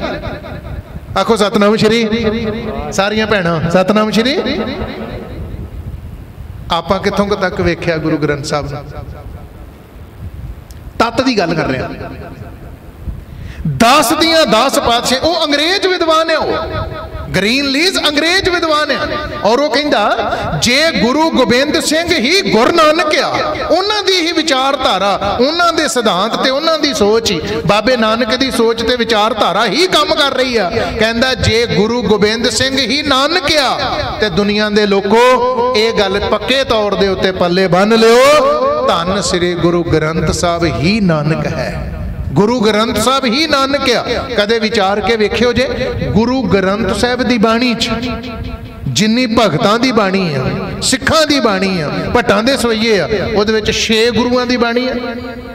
ਗੁਰੂ ਨਾਨਕ ਦੇਵ ਸਾਹਿਬ ਤੋਂ ਲੈ ਕੇ ਪੰਜਵੇਂ ਪਾਤਸ਼ਾਹ ਤੱਕ ਪੰਜ ਗੁਰੂਆਂ ਦੀ ਬਾਣੀ, ਨੌਵੇਂ ਪਾਤਸ਼ਾਹ ਸ੍ਰੀ ਗੁਰੂ ਤੇਗ ਬਹਾਦਰ ਮਹਾਰਾਜ ਸੱਚੇ ਪਾਤਸ਼ਾਹ ਦੀ ਪਾਵਨ ਬਾਣੀ ਗੁਰੂ ਨਾਨਕ ਸਾਹਿਬ ਤੋਂ ਬਾਅਦ। ਬਾਕੀ ਸਾਰੇ ਦੇ ਸਾਰੇ ਗੁਰੂ ਸਹਿਬਾਨਾਂ ਚੋਂ ਕਿਸੇ ਨੇ ਆਪਣਾ ਨਾਮ ਲਿਖਿਆ। ਗੁਰੂ ਅੰਗਦ ਦੇਵ ਸਾਹਿਬ ਦੇ ਗੁਰੂ ਗ੍ਰੰਥ ਸਾਹਿਬ ਜੀ ਬਾਣੀ ਵਿੱਚ 62 ਸ਼ਲੋਕ ਆ। ਇੱਕ ਤੁਕ ਦੇ ਵਿੱਚ, ਇੱਕ ਪੰਕਤੀ ਚ ਵੀ ਗੁਰੂ ਅੰਗਦ ਦੇਵ ਸਾਹਿਬ ਦਾ ਨਾਮ ਅੰਗਦ ਦੇਵ। ਤੁਹਾਨੂੰ ਕਿਤੇ ਵੀ ਗੁਰੂ ਗ੍ਰੰਥ ਸਾਹਿਬ 'ਚ ਨਹੀਂ ਮਿਲੇਗਾ। ਜਿੱਥੇ ਮਿਲੇਗਾ ਕੀ ਲਿਖਿਆ? ਨਾਨਕ। ਗੁਰੂ ਅਮਰਦਾਸ ਮਹਾਰਾਜ ਤੀਜੇ ਪਾਤਸ਼ਾਹ ਜੀ ਦੀ ਪਾਵਨ ਬਾਣੀ ਗੁਰੂ ਗ੍ਰੰਥ ਸਾਹਿਬ ਦੇ 17 ਰਾਗਾਂ 'ਚ 17 ਦੇ 17 ਰਾਗ ਤੇ ਸਾਰੀਆਂ ਵਾਰਾਂ ਗੁਰੂ ਅਮਰਦਾਸ ਸਾਹਿਬ ਦੀਆਂ ਪੜ੍ਹ ਲੈਣੀਆਂ। ਇੱਕ ਜਗ੍ਹਾ ਤੇ ਵੀ ਅਮਰਦਾਸ ਨਹੀਂ ਲਿਖਿਆ। ਜਿੱਥੇ ਲਿਖਿਆ, ਨਾਨਕੀ ਹੀ। ਹੈ ਧੰਨ ਸ਼੍ਰੀ ਗੁਰੂ ਰਾਮਦਾਸ ਮਹਾਰਾਜ ਸੱਚੇ ਪਾਤਸ਼ਾਹ ਜੀ ਦੀ ਗੁਰੂ ਗ੍ਰੰਥ ਸਾਹਿਬ ਦੇ ਵਿੱਚ 30 ਰਾਗਾਂ ਚ ਬਾਣੀ ਆ। 8 ਵਾਰਾਂ ਨੇ ਉਹਨਾਂ ਦੀਆਂ ਉਚਾਰਨ ਕੀਤੀਆਂ। 8 ਦੀਆਂ 8 ਵਾਰਾਂ ਪੜ ਲੈਣੀਆਂ। 30 ਦੇ 30 ਰਾਗਾਂ ਚ ਗੁਰੂ ਰਾਮਦਾਸ ਪਾਤਸ਼ਾਹ ਜੀ ਦੀ ਬਾਣੀ ਪੜ ਲੈਣੀ। ਇੱਕ ਜਗ੍ਹਾ ਤੇ ਵੀ ਰਾਮਦਾਸ ਆਪਣੇ ਆਪ ਨੂੰ ਨਹੀਂ ਲਿਖਿਆ। ਜਿੱਥੇ ਲਿਖਿਆ, ਜਿੱਥੇ ਉਚਾਰਿਆ, ਨਾਨਕ, ਕਿਉਂਕਿ ਜੋਤ ਉਚਾਰਨ ਕਰ ਰਹੀ ਹੈ। ਜਿਹੜੀ ਬਾਣੀ ਹੈ ਨਾ, ਉਹ ਜਿਹੜੀ ਗੁਰੂ ਨਾਨਕ ਦੀ ਜੋਤ ਆ, ਉਹ ਹੀ ਉਚਾਰਨ ਕਰ ਰਹੀ ਆ। ਸ੍ਰੀ ਗੁਰੂ ਅਰਜਨ ਦੇਵ ਮਹਾਰਾਜ ਜੀ ਦੀ ਬਾਣੀ ਵੀ 30 ਰਾਗਾਂ ਚ ਹੈ ਗੁਰੂ ਗ੍ਰੰਥ ਸਾਹਿਬ ਚ। 30 ਦੇ 30 ਰਾਗ ਪੜ ਲੈਣੇ ਸਾਰੀ ਗੁਰੂ ਅਰਜਨ ਦੇਵ ਸਾਹਿਬ ਦੀ ਬਾਣੀ, ਇੱਕ ਵੀ ਜਗ੍ਹਾ ਤੇ ਅਰਜਨ ਦੇਵ ਨਹੀਂ ਲਿਖਿਆ, ਨਾਨਕ ਆ ਉਹ। ਧੰਨ ਗੁਰੂ ਤੇਗ ਬਹਾਦਰ ਮਹਾਰਾਜ ਸੱਚੇ ਪਾਤਸ਼ਾਹ ਨੇ 15 ਰਾਗਾਂ ਵਿੱਚ ਬਾਣੀ ਉਚਾਰਨ ਕੀਤੀ ਹੈ। ਅਖੀਰ ਦੇ ਵਿੱਚ ਉਹਨਾਂ ਦੇ 57 ਸ਼ਲੋਕ ਤੇ ਦੋਹਰੇ ਆ। ਇੱਕ ਜਗ੍ਹਾ ਤੇ ਵੀ ਕਿਤੇ ਤੇਗ ਬਹਾਦਰ ਸ਼ਬਦ ਮਿਲਿਆ ਪੜਨ ਵਾਸਤੇ। ਬਾਰ ਬਾਰ ਪੜਦੇ ਹੋ, ਕਹਿ ਨਾਨਕ ਸੁਨ ਰੇ ਮਨਾ, ਕਹੋ ਨਾਨਕ ਸੁਨ ਰੇ ਮਨਾ, ਨਾਨਕ ਨਾਨਕ ਨਾਨਕ, ਕਿਉਂ? ਕਿਉਂਕਿ ਜੋਤ 오ਹਾ ਜੁਗਤ ਸਾਏ ਸਹਿ ਕਾਇਆ ਫੇਰ ਪਲਟਿਐ। ਜਿਹੜੀ ਬੇਨਤੀ ਕਰ ਰਿਹਾ ਸਾਂ, ਇਕਾਗਰ ਰਿਓ ਜੀ। ਸਤਗੁਰ ਸੱਚਾ ਪਾਤਸ਼ਾਹ। ਉਹ ਵਿਦਵਾਨ ਪਤਾ ਕੀ ਆਖਦਾ ਕਹਿੰਦਾ, ਜੇ ਗੁਰੂ ਨਾਨਕ ਸੱਚਾ ਪਾਤਸ਼ਾਹ ਹੈ, ਤੇ 10 ਦੀਆਂ 10 ਪਾਤਸ਼ਾਹੀਆਂ ਨੂੰ ਅੱਜ ਆਪਾਂ ਸੱਚਾ ਪਾਤਸ਼ਾਹ ਆਖਦੇ ਹਾਂ। ਕਹਿੰਦਾ, ਦੁਨੀਆ ਦੇ ਲੋਕੋ, ਜੇ ਅੱਜ ਉਸੇ ਤਰ੍ਹਾਂ ਚਵਰ, ਛਤਰ, ਤਖਤ, ਸਿੰਘਾਸਣ ਦਾ ਮਾਲਕ ਆ, ਗੁਰੂ ਨਾਨਕ ਦੀ ਤਰ੍ਹਾਂ, ਕਲਗੀਧਰ ਪਾਤਸ਼ਾਹ ਗੁਰੂ ਗੋਬਿੰਦ ਸਿੰਘ ਸਾਹਿਬ ਦੀ ਤਰ੍ਹਾਂ, ਤੇ ਅੱਜ ਸਾਰੀ ਦੀ ਸਾਰੀ ਦੁਨੀਆ 'ਚ ਸਾਰੇ ਤੇ ਸਾਰੇ ਸੰਸਾਰ ਦੇ ਵਿੱਚ ਜੇ ਕੋਈ ਇਸ ਤਰ੍ਹਾਂ ਚਵਰ ਛਤਰ ਤਖਤ ਦਾ ਮਾਲਕ ਤੇ ਅੱਜ ਦਾ ਕੋਈ ਸ਼ਹਿਨशाह ਤੇ ਪਾਤਸ਼ਾਹ ਹੈ ਗੁਰੂ ਨਾਨਕ ਦੀ ਗੁਰਤਾ ਗੱਦੀ ਉੱਤੇ, ਉਸੇ ਤਰ੍ਹਾਂ ਬਾਬੇ ਨਾਨਕ ਦੀ ਤਰ੍ਹਾਂ ਧੰਨ ਸ੍ਰੀ ਗੁਰੂ ਗ੍ਰੰਥ ਸਾਹਿਬ ਮਹਾਰਾਜ ਹੈ। ਭਾਈ ਸਾਹਿਬ, ਭਾਈ ਨੰਦ ਲਾਲ ਜੀ ਨੇ ਵੀ ਇਹ ਬਚਨ ਲਿਖੇ। ਭਾਈ ਨੰਦ ਲਾਲ ਜੀ, ਜਿਨ੍ਹਾਂ ਨੂੰ ਭਾਈ ਨੰਦ ਲਾਲ ਸਿੰਘ ਵੀ ਆਪਾਂ ਕਹਿੰਦੇ ਉਹਨਾਂ ਨੇ ਪਤਾ ਕੀ ਲਿਖਿਆ? ਹਮੋ ਗੁਰੂ ਗੋਬਿੰਦ ਸਿੰਘ, ਹਮੂ ਨਾਨਕ ਅਸਤ। ਹਮੂ ਰਤਨ ਜੋਹਰ, ਹਮੂ ਮਾਨਕ ਅਸਤ। ਉਹ ਕਹਿੰਦੇ, ਗੁਰੂ ਨਾਨਕ ਹੀ ਗੁਰੂ ਗੋਬਿੰਦ ਸਿੰਘ ਹੈ, ਗੁਰੂ ਗੋਬਿੰਦ ਸਿੰਘ ਹੀ ਗੁਰੂ ਨਾਨਕ ਹੈ। ਉਹੋ ਹੀ ਰਤਨ ਉਹੋ ਹੀ ਕੀਮਤੀ ਸੋਚ ਉਹੋ ਹੀ ਹੀਰੇ ਜਵਾਹਰਾਤਾਂ ਦਾ ਸ਼ਬਦ ਦਾ ਤੇ ਬਾਣੀ ਦਾ, ਉਪਦੇਸ਼ਾਂ ਦਾ, ਸਿਧਾਂਤਾਂ ਦਾ ਤੇ ਵਿਚਾਰਧਾਰਾ ਦਾ ਖਜ਼ਾਨਾ। ਬਾਬੇ ਨਾਨਕ ਦੇ ਕੋਲ ਆ ਉਹੋ ਹੀ ਵਿਚਾਰਧਾਰਾ ਦਾ ਖਜ਼ਾਨਾ। ਧੰਨ ਸ੍ਰੀ ਗੁਰੂ ਗੋਬਿੰਦ ਸਿੰਘ ਸਾਹਿਬ ਮਹਾਰਾਜ ਸੱਚੇ ਪਾਤਸ਼ਾਹ ਦੇ ਕੋਲ ਆ। ਔਰ ਯਾਦ ਰੱਖਿਓ ਜੇ, ਜਿਹੜਾ ਕੁਝ ਵੀ ਬਾਕੀ ਸਾਰੇ ਦੀਆਂ ਸਾਰੀਆਂ ਪਾਤਸ਼ਾਹੀਆਂ ਨੇ ਗੁਰੂ ਨਾਨਕ ਦੇਵ ਮਹਾਰਾਜ ਤੋਂ ਅੱਗੇ ਚੱਲ। ਦਸਵੇਂ ਪਾਤਸ਼ਾਹ ਤੱਕ ਪਾਰੋਪਕਾਰ ਕੀਤੇ ਤੇ ਵਿਚਾਰਧਾਰਾ ਜੀਵਨ ਦੇ ਸਿਧਾਂਤ ਤੁਹਾਨੂੰ ਬਖਸ਼ਿਸ਼ ਕੀਤੇ ਕੌਮ ਨੂੰ ਤੇ ਦੁਨੀਆ ਨੂੰ। ਉਹ ਸਾਰੀ ਦੀ ਸਾਰੀ ਸੋਚ ਕਿਸ ਦੀ ਹੈ ਸਾਰੀ ਦੀ ਸਾਰੀ ਕਿਹਦੀ ਸੋਚ ਹੈ? ਧੰਨ ਗੁਰੂ ਨਾਨਕ ਦੇਵ ਮਹਾਰਾਜ ਇੱਕ ਦੋ ਦਲੀਲਾਂ ਦਵਾਂ ਸਾਰਿਆਂ ਨੂੰ ਸਮਝ ਆ ਜੇ ਚੰਗੀ ਤਰ੍ਹਾਂ। ਆ ਜਿਹੜੇ ਪੰਥ ਦੀ ਅੱਜ ਗੱਲ ਕਰਦੇ ਹੋ, ਕਹਿੰਦੇ ਜੇ ਨਾ ਪੰਥ, ਕਿੰਨੇ ਸਾਜਿਆ ਹੈ ਪੰਥ? ਆਖੋ, ਸਤਨਾਮ ਸ਼੍ਰੀ। ਮਾਫ ਕਰਿਓ ਜੇ। ਦਾਸ ਨੇ ਪਹਿਲਾਂ ਵੀ ਬੇਨਤੀ ਕੀਤੀ ਵੀ ਕੁਝ ਨੁਕਤੇ ਦੀਆਂ ਬਾਤਾਂ ਸਾਂਝੀਆਂ ਕਰਨੀਆਂ। ਅੱਜ ਕਦੀ ਕਦੀ ਸਹਿਜ ਸੁਭਾਏ ਆਪਾਂ ਕਹਿ ਦਿੰਨੇ ਆ ਪੰਥ ਦੀ ਸਾਜਣਾ ਗੁਰੂ ਗੋਬਿੰਦ ਸਿੰਘ ਸਾਹਿਬ ਨੇ ਕੀਤੀ ਹੈ। ਕਹਿੰਦੇ ਨਾ ਕਦੀ ਕਦੀ। ਪੰਜਾਂ ਪਿਆਰਿਆਂ ਦੀ ਕੋਈ ਫੋਟੋ ਵੀ ਲੱਗੀ ਹੋਵੇ, ਅੰਮ੍ਰਿਤ ਸੰਚਾਰ ਹੋ ਰਿਹਾ ਹੋਵੇ, ਕਲਗੀਧਰ ਪਾਤਸ਼ਾਹ ਅੰਮ੍ਰਿਤ ਛਕਾਰੇ ਹੋਣ, ਉਹਦੇ ਥੱਲੇ ਮੈਂ ਕਈਆਂ ਥਾਵਾਂ ਤੇ ਪੜਿਆ ਪੰਥ ਸਾਜਣਾ। ਨਹੀਂ। ਪੰਥ ਗੁਰੂ ਨਾਨਕ ਨੇ ਸਾਜਿਆ ਆ ਕਿੱਥੇ ਲਿਖਿਆ ਹੈ? ਆਖੋ ਸਤਨਾਮ ਸ਼੍ਰੀ। ਪੰਥ ਕਿਨੇ ਸਾਜਿਆ ਪੰਥ ਗੁਰੂ ਨਾਨਕ ਨੇ ਸਾਜਿਆ ਦੋ ਦਲੀਲਾਂ ਦੇਾਂਗਾ ਸ਼੍ਰੀਮਾਨ ਭਾਈ ਸਾਹਿਬ, ਭਾਈ ਗੁਰਦਾਸ ਜੀ ਨੇ ਪਤਾ ਕੀ ਆਖਿਆ? ਕਹਿੰਦੇ, ਮਾਰਿਆ ਸਿੱਕਾ ਜਗਤ ਵਿੱਚ। ਅੱਧੀ ਪੰਕਤੀ ਆਉਂਦੀ ਅੱਗੇ ਕੀ ਲਿਖਿਆ? ਮਾਰਿਆ ਸਿੱਕਾ ਜਗਤ ਵਿੱਚ ਨਾਨਕ ਨਿਰਮਲ। ਸਾਰੇ ਪੜੋ ਨਾਨਕ ਨਿਰਮਲ ਪੰਥ ਚਲਾਇਆ। ਕਿੰਨੇ ਚਲਾਇਆ ਨਿਰਮਲ ਪੰਥ? ਨਾਨਕ ਨਿਰਮਲ ਪੰਥ ਚਲਾਇਆ। ਔਰ ਇਹ ਚੇਤਾ ਨਾ ਭੁੱਲੇ, ਜਿਹੜਾ ਨਿਰਮਲ ਪੰਥ ਗੁਰੂ ਨਾਨਕ ਨੇ ਚਲਾਇਆ ਸੀ ਉਸੇ ਨਿਰਮਲ ਪੰਥ ਨੂੰ ਦਸਵੇਂ ਜਾਮੇ ਚ ਕਲਗੀਧਰ ਪਾਤਸ਼ਾਹ ਨੇ ਖਾਲਸਾ ਪੰਥ ਬਣਾਇਆ ਇਹ ਚੇਤੇ ਰੱਖਣ ਵਾਲੀ ਗੱਲ ਜਿਹੜਾ ਪੰਥ ਦਸ਼ਮੇਸ਼ ਨੇ ਦਸਵੇਂ ਜਾਮੇ ਚ ਖਾਲਸਾ ਪੰਥ ਬਣਾਇਆ, ਉਹਨੂੰ ਗੁਰੂ ਨਾਨਕ ਨੇ ਨਿਰਮਲ ਪੰਥ ਸਾਜਿਆ ਸੀ। ਮਾਰਿਆ ਸਿੱਕਾ ਜਗਤ ਵਿੱਚ, ਨਾਨਕ ਨਿਰਮਲ ਪੰਥ ਚਲਾਇਆ। ਹੋਰ ਪੁੱਛੀਏ ਭਾਈ ਗੁਰਦਾਸ ਜੀ ਉਹ ਪਤਾ ਕੀ ਆਖਦੇ ਆ? ਕਹਿੰਦੇ, ਸ਼ਬਦ ਜਿੱਤੀ ਸਿੱਧ ਮੰਡਲੀ, ਕੀਤੋ ਸੁ ਆਪਣਾ ਪੰਥ ਨਿਰਾਲਾ। ਕੀਤੋ ਸੁ ਆਪਣਾ ਪੰਥ ਨਿਰਾਲਾ। ਨਿਰਾਲਾ ਦਾ ਅਰਥ ਵੱਖਰਾ। ਨਿਰਾਲਾ ਦਾ ਅਰਥ ਅਲੱਗ। ਨਿਰਾਲਾ ਦਾ ਅਰਥ ਜਿਹੜਾ ਰਲਗੱਡ ਨਹੀਂ ਹੋ ਸਕਦਾ ਕਿਸੇ 'ਚ। ਸ਼ਬਦ ਜਿੱਤੀ ਸਿੱਧ ਮੰਡਲੀ। 2 ਮਿੰਟ ਇਧਰਲੇ ਪਾਸੇ ਲੈ ਲਵਾਂ। ਕੀਤੋ ਸੁ ਆਪਣਾ ਪੰਥ ਨਿਰਾਲਾ, ਆਪਣਾ ਪੰਥ ਵੱਖਰੀ ਬਾਤ ਦੁਨੀਆ ਨਾਲੋਂ। ਜਿਹੜੀ ਨਾ ਕਿਸੇ ਸਨਾਤਨੀ ਮਤ ਦੇ ਕੋਲ ਸੀ, ਨਾ ਕਿਸੇ ਮੁਸਲਮਾਨ ਕੋਲ, ਨਾ ਜੈਨੀ ਕੋਲ, ਨਾ ਬੋਧੀ ਕੋਲ, ਨਾ ਯਹੂਦੀ ਕੋਲ, ਨਾ ਕਿਸੇ ਈਸਾਈ ਕੋਲ। ਨਿਰਾਲਾ ਦਾ ਅਰਥ ਹੈ ਜਿਸ ਨੂੰ ਕੀਤੋ ਸੁ ਆਪਣਾ ਪੰਥ ਨਿਰਾਲਾ। ਗੁਰੂ ਨਾਨਕ ਸਾਹਿਬ ਦੇ ਵਕਤ ਦੀ ਗੱਲ ਆ, ਉਹਨੂੰ ਦਸਵੇਂ ਜਾਮੇ ਚ ਨਿਆਰਾ ਪੰਥ ਆਖਿਆ, ਜਬ ਲਗ ਖਾਲਸਾ ਰਹੇ ਨਿਆਰਾ ਉਹਨੂੰ ਪਹਿਲੇ ਜਾਮੇ ਵੇਲੇ ਭਾਈ ਗੁਰਦਾਸ ਕਹਿੰਦੇ, ਕੀਤੋ ਸੁ ਆਪਣਾ ਪੰਥ ਨਰਾਲਾ। ਨਰਾਲਾ ਦਾ ਅਰਥ ਵੱਖਰਾ, ਅਲੱਗ। ਦੁਨੀਆ ਨਾਲੋਂ ਨਰਾਲਾ। ਕਹਿੰਦੇ ਆ ਬੰਦਾ ਤੇ ਸਾਰਿਆਂ ਨਾਲੋਂ ਨਰਾਲਾ ਹੀ ਆ। ਨਿਰਾਲਾ ਹੀ ਦਾ ਮਤਲਬ ਕੀ ਹੋਇਆ ਜੀ? ਬਾਕੀਆਂ ਨਾਲੋਂ ਵੱਖਰਾ, ਅਲੱਗ ਆ ਏ ਵਿਲੱਖਣ ਆ। ਇਹ ਬਚਨ ਭਾਈ ਗੁਰਦਾਸ ਜੀ ਨੇ ਜਿਹੜੇ ਉਚਾਰਨ ਕੀਤੇ ਨਾ ਜੀ, ਜਿਹੜੇ ਸਿੱਧ ਲੋਕ ਸੀ, ਸਿੱਧੀ ਮਨੈ ਵਿਚਾਰਿਆ, ਕਿਵੇਂ ਦਰਸ਼ਨ ਇਹ ਲੇਵੇ ਬਾਲਾ। ਐਸਾ ਜੋਗੀ ਕਲੀ ਮੈਂ ਹਮਰੇ ਪੰਥ ਕਰੇ ਉਜਿਆਲਾ ਖੱਪਰ ਦਿੱਤਾ ਨਾਥ ਜੀ ਪਾਣੀ ਭਰ ਲੈਵਣ ਉੱਠ ਚਾਲਾ ਗੁਰੂ ਨਾਨਕ ਸਾਹਿਬ ਦੀ ਪਹਾੜਾਂ ਦੇ ਉੱਤੇ ਸਮੇਰ ਤੇ ਗੋਸ਼ਟ ਹੋ ਰਹੀ ਹੈ ਜੋਗੀਆਂ ਨਾਲ ਉਹ ਜੋਗੀਆਂ ਨੇ ਸੋਚਿਆ ਸਿੱਧਾਂ ਨੇ ਜਿਹੜੇ ਗੋਰਖਨਾਥ ਦੇ ਚੇਲੇ ਸੀ ਉਹ ਕਹਿੰਦੇ ਵੀ ਜਿਹੜਾ ਨਾਨਕ ਹੈ ਨਾ ਇਹਦੇ ਆਖੇ ਬੜੇ ਲੱਗਦੇ ਆ ਲੋਕ ਇਹਦੇ ਕਹੇ ਹੋਏ ਤੇ ਬੜੇ ਲੋਕ ਚੱਲਦੇ ਆ ਤੇ ਕਿਤੇ ਬਾਬਾ ਨਾਨਕ ਬਣ ਜਾਏ ਨਾ ਜੋਗੀ। ਗੁਰੂ ਨਾਨਕ ਨੂੰ ਆਪਾਂ ਬਣਾ ਲਈਏ ਨਾ ਆਪਣੇ ਵਰਗਾ ਸਿੱਧ। ਸਵਾਹ ਮਲ ਕੇ, ਜਟਾਵਾਂ ਵਧਾ ਕੇ, ਇਹਨੂੰ ਇੱਥੇ ਚੌਂਕੜਾ ਮਾਰ ਕੇ ਬਿਠਾ ਦਈਏ। ਤੇ ਸਾਡਾ ਜਿਹੜਾ ਪੰਥ ਆ, ਸਾਡਾ ਜਿਹੜਾ ਧਰਮ ਆ, ਇਹ ਸਾਰੀ ਦੁਨੀਆ 'ਚ ਫੈਲ ਸਕਦਾ, ਬੜੀ ਦੁਨੀਆ ਜੋਗੀਆਂ ਦੇ ਉੱਤੇ ਹੋਰ ਵਿਸ਼ਵਾਸ ਲਿਆ ਸਕਦੀ ਹੈ ਕਹਿੰਦੇ ਵੀ ਕਰੀਏ ਕੀ? ਗਿਆਨ ਗੋਸ਼ਟ ਦੇ ਨਾਲ ਤੇ ਵਸ ਚ ਨਹੀਂ ਆਉਂਦਾ ਇਹ।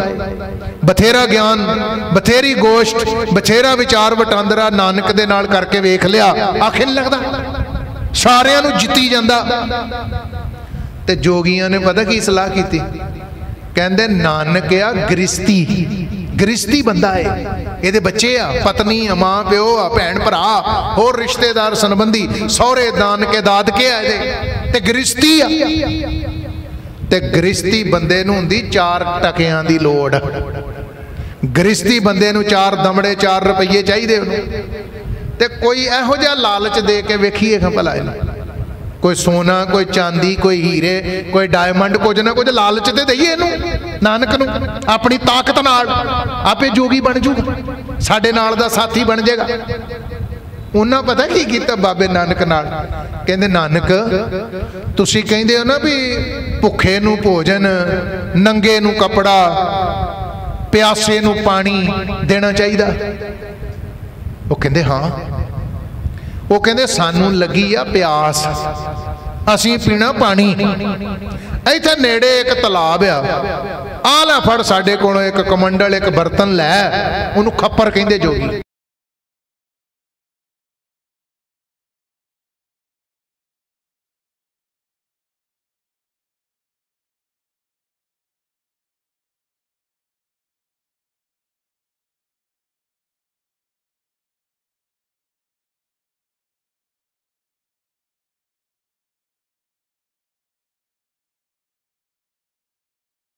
ਪਾਣੀ ਉਥੋਂ ਦਾ ਦਿੱਤਾ ਸੁਕਾ ਤੇ ਉਥੇ ਹੀਰੇ ਚਮਕਦੇ ਪਏ ਆ। ਬੜੇ ਕੀਮਤੀ ਰਤਨ ਚਮਕਣ ਡਏ ਉਥੇ। ਗੁਰੂ ਨਾਨਕ ਸਾਹਿਬ ਨੇ ਵੇਖਿਆ ਵੀ ਪਾਣੀ ਤੇ ਹੈ ਨਹੀਂ ਇੱਥੇ। ਇੱਥੇ ਤੇ ਹੀਰੇ ਜਵਾਹਰਾਤ ਚਮਕ ਰਹੇ ਆ। ਜੋਗੀਆਂ ਨੇ ਸੋਚਿਆ ਵੀ ਜੇਬ ਭਰ ਲਿਆਊਗਾ ਨਾਨਕ। ਤੇ ਸ਼ਕਤੀ ਤੇ ਸਾਡੀ ਆ। ਆਪੇ ਜੋਗੀ ਬਣ ਜੂ।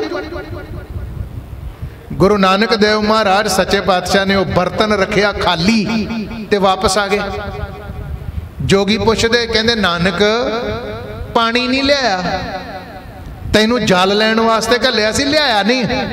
ਗੁਰੂ ਨਾਨਕ ਕਹਿੰਦੇ, ਤੁਸੀਂ ਕਿਹਾ ਸੀ ਵੀ ਉੱਥੇ ਤਲਾਬ ਤੋਂ ਪਾਣੀ ਭਰ ਲਿਆ, ਤੇ ਉਸ ਤਲਾਬ ਦੇ ਵਿੱਚ ਪਾਣੀ ਹੈ ਹੀ ਨਹੀਂ, ਹੈ ਨਹੀਂਗਾ ਪਾਣੀ ਹੁਣ ਗੁਰੂ ਚਾਹਵੇ ਤੇ ਭਾਵੇਂ ਪੈਦਾ ਕਰ ਲੇ, ਪਰ ਉਹ ਕਹਿੰਦੇ ਮੈਨੂੰ ਇਹ ਤਾਂ ਲੋੜ ਹੀ ਨਹੀਂ।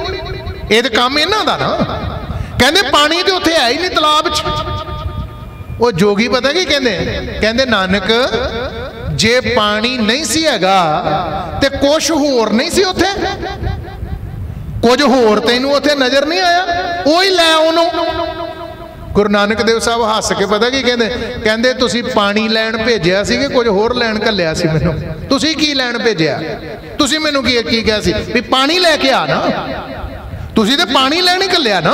ਜਾਂ ਤੇ ਤੁਸੀਂ ਮੈਨੂੰ ਕਹਿ ਦਿੰਦੇ ਵੀ ਜੇ ਉੱਥੇ ਪਾਣੀ ਨਾ ਹੋਇਆ, ਤੇ ਜਿਹੜੀ ਚੀਜ਼ ਵੀ ਹੋਵੇ ਤੂੰ ਉਹ ਲੈ ਆਉਣੀ ਹੈ ਤੁਸੀਂ ਮੈਨੂੰ ਕਿਹਾ ਪਾਣੀ ਲੈ ਕੇ ਆ, ਤੇ ਪਾਣੀ ਉੱਥੇ ਹੈ ਨਹੀਂ। ਤੇ ਜੇ ਪਾਣੀ ਤੋਂ ਇਲਾਵਾ ਕੁਝ ਹੋਰ ਵੀ ਉੱਥੇ ਹੋਵੇ, ਮੇਰਾ ਉਹਦੇ ਨਾਲ ਸਬੰਧ ਕੋਈ ਨਹੀਂ, ਕਿਉਂਕਿ ਮੈਂ ਤੇ ਪਾਣੀ ਲੈਣ ਗਿਆ।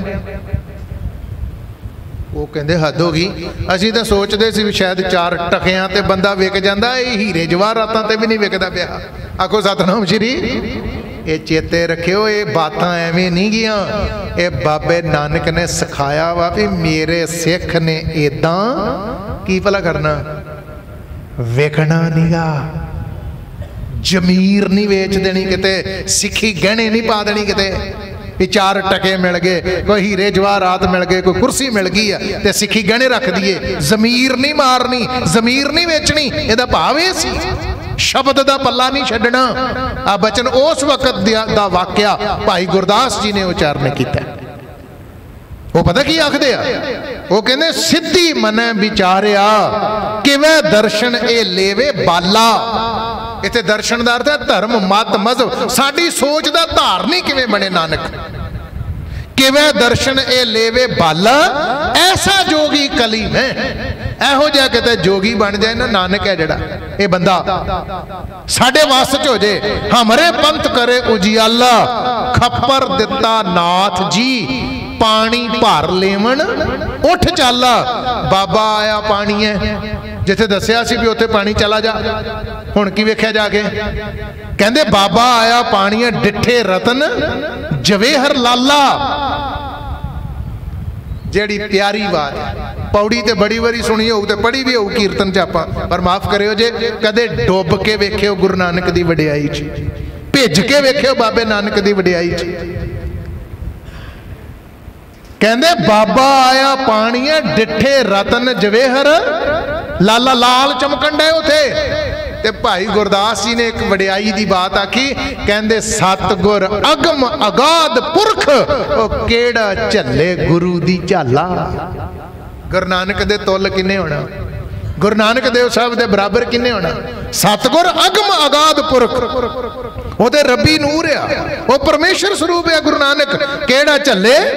ਗੁਰੂ ਦੀ ਝਾਲਾ। ਫਿਰ ਆਇਆ ਗੁਰਨਾਥ ਜੀ। ਗੁਰੂ ਨਾਨਕ ਸਾਹਿਬ ਆਏ, ਵਾਪਸ। ਉਹ ਪੁੱਛਦੇ, ਨਾਥ ਜੋਗੀ ਸਿੱਧ, ਲਿਆਂਦਾ ਨਹੀਂ ਉਹ ਪਾਣੀ? ਖਾਲੀ ਲੈਣ ਦਾ ਹੀ ਬਰਤਨ, ਭਾਂਡਾ ਖਾਲੀ ਲੈ ਆ ਤੇ ਭਾਈ ਗੁਰਦਾਸ ਜੀ ਪਤਾ ਕੀ ਆਖਦੇ? ਕਹਿੰਦੇ, ਫਿਰ ਆਏ ਗੁਰ, ਆਇਆ ਗੁਰਨਾਥ ਜੀ, ਪਾਣੀ ਠੌਰ ਨਹੀਂ ਉਸ ਤਾਲਾ, ਉਸ ਤਲਾਬ 'ਚ ਪਾਣੀ ਨਹੀਂ ਹੈਗਾ। ਉਹ ਕਹਿੰਦੇ, ਕੁਝ ਹੋਰ। ਉਹ ਕਹਿੰਦੇ, ਹੋਰ ਕਿਸੇ ਨਾਲ ਮੇਰਾ ਸਬੰਧ ਹੀ ਨਹੀਂ। ਜੋ ਕੁਝ ਉੱਥੇ ਹੋਰ ਹੋਊਗਾ, ਮੈਨੂੰ ਤੇ ਪਤਾ ਹੀ ਨਹੀਂ। ਮੇਰਾ ਧਿਆਨ, ਮੇਰੀ ਸੁਰਤ, ਮੇਰੀ ਬਿਰਤੀ ਪਾਣੀ ਵਾਲੇ ਪਾਸੇ ਆ ਵੀ ਮੈਂ ਪਾਣੀ ਲੈ ਕੇ ਜਾਣਾ, ਜਲ ਲੈ ਕੇ ਜਾਣਾ। ਤੁਸੀਂ ਕਿਹਾ ਹੀ ਨਹੀਂ ਵੀ ਜੇ ਕੁਝ ਹੋਰ ਹੋਇਆ ਤੇ ਹੋਰ ਲੈ ਆਈ। ਉੱਥੇ ਲਿਖਿਆ ਫਿਰ ਭਾਈ ਗੁਰਦਾਸ ਬਹਿ ਗਏ ਉਹਨਾਂ ਕੋਲ ਚੌਂਕੜਾ ਮਾਰ ਕੇ। ਕਹਿੰਦੇ, ਉਹ ਕਿੱਥੇ ਤੁਰੇ ਫਿਰਦੇ ਜੇ ਤੁਸੀਂ? ਇਹ ਚਾਰ ਟਕਿਆਂ ਤੇ ਚਾਰ ਹੀਰੇ ਤੇ ਚਾਰ ਲਾਲ ਜਵਾਹਰਾਤ ਰਤਨ, ਉਹਨਾਂ ਨਾਲ ਖਰੀਦਣਾ ਚਾਹੁੰਦੇ ਜੇ, ਨਾਨਕ ਨੂੰ? ਆਖੋ ਸਤਨਾਮ ਸ਼੍ਰੀ, ਇਹ ਕੌਮ ਇਹੋ ਜੀ ਬਣਾ ਦੇਾਂਗਾ ਇਹ ਪੰਥ ਇਹੋ ਜਿਹਾ ਸਾਜ ਦੇਾਂਗਾ ਇਹ ਨਿਰਮਲ ਪੰਥ, ਇਹ ਸ਼ਬਦ ਦਾ ਧਾਰਨੀ ਤੇ ਸ਼ਬਦ ਦੀ ਕਮਾਈ ਵਾਲਾ ਪੰਥ ਇਹੋ ਜਿਹਾ ਬਣਾ ਦੇਾਂਗਾ ਜਿਹੜੇ ਕਿਸੇ ਕੋ ਵੀ ਖਰੀਦੇ ਨਹੀਂ ਜਾ ਸਕਣੇ।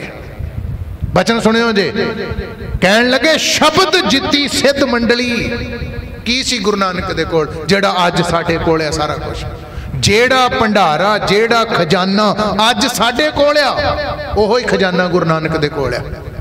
ਆਪਾਂ ਕਿੱਥੇ ਖਲੋਤੇ ਆ? ਝਾਤ ਮਾਰਿਓ ਜੇ। ਇਹ 550 ਸਾਲਾਂ ਤੇ ਮੈਂ ਵੀ ਤੁਹਾਡੇ ਨਾਲ ਆ। ਆਪਣੇ ਦਿਲਾਂ 'ਚ ਝਾਤ ਮਾਰ ਕੇ ਵੇਖਣੀ। ਭਾਈ ਗੁਰਦਾਸ ਤਾਂ ਕਹਿੰਦੇ, ਸ਼ਬਦ ਜਿੱਤੀ ਸਿੱਧ ਮੰਡਲੀ, ਕੀਤੋ ਸੁ ਆਪਣਾ ਪੰਥ ਨਰਾਲਾ। ਕਿਹੜਾ ਆਪਣਾ ਪੰਥ ਨਰਾਲਾ ਸੀ ਭਲਾ? ਨਾ ਹਮ ਹਿੰਦੂ, ਨਾ ਮੁਸਲਮਾਨ। ਅੱਲਾ ਰਾਮ ਕੇ ਪਿੰਡ ਪ੍ਰਾਣ। ਉਹ ਕੀਤੋ ਸੁ ਆਪਣਾ ਪੰਥ ਨਰਾਲਾ। ਕਾਲਜੁਗ ਨਾਨਕ ਨਾਮ ਸੁਖਾਲਾ। ਬੇਨਤੀ ਕੇਵਲ ਜਿਹੜੀ ਕਰ ਰਹੇ ਸਾਂ ਸੁਰਤ ਉੱਤੇ ਰੱਖਿਓ।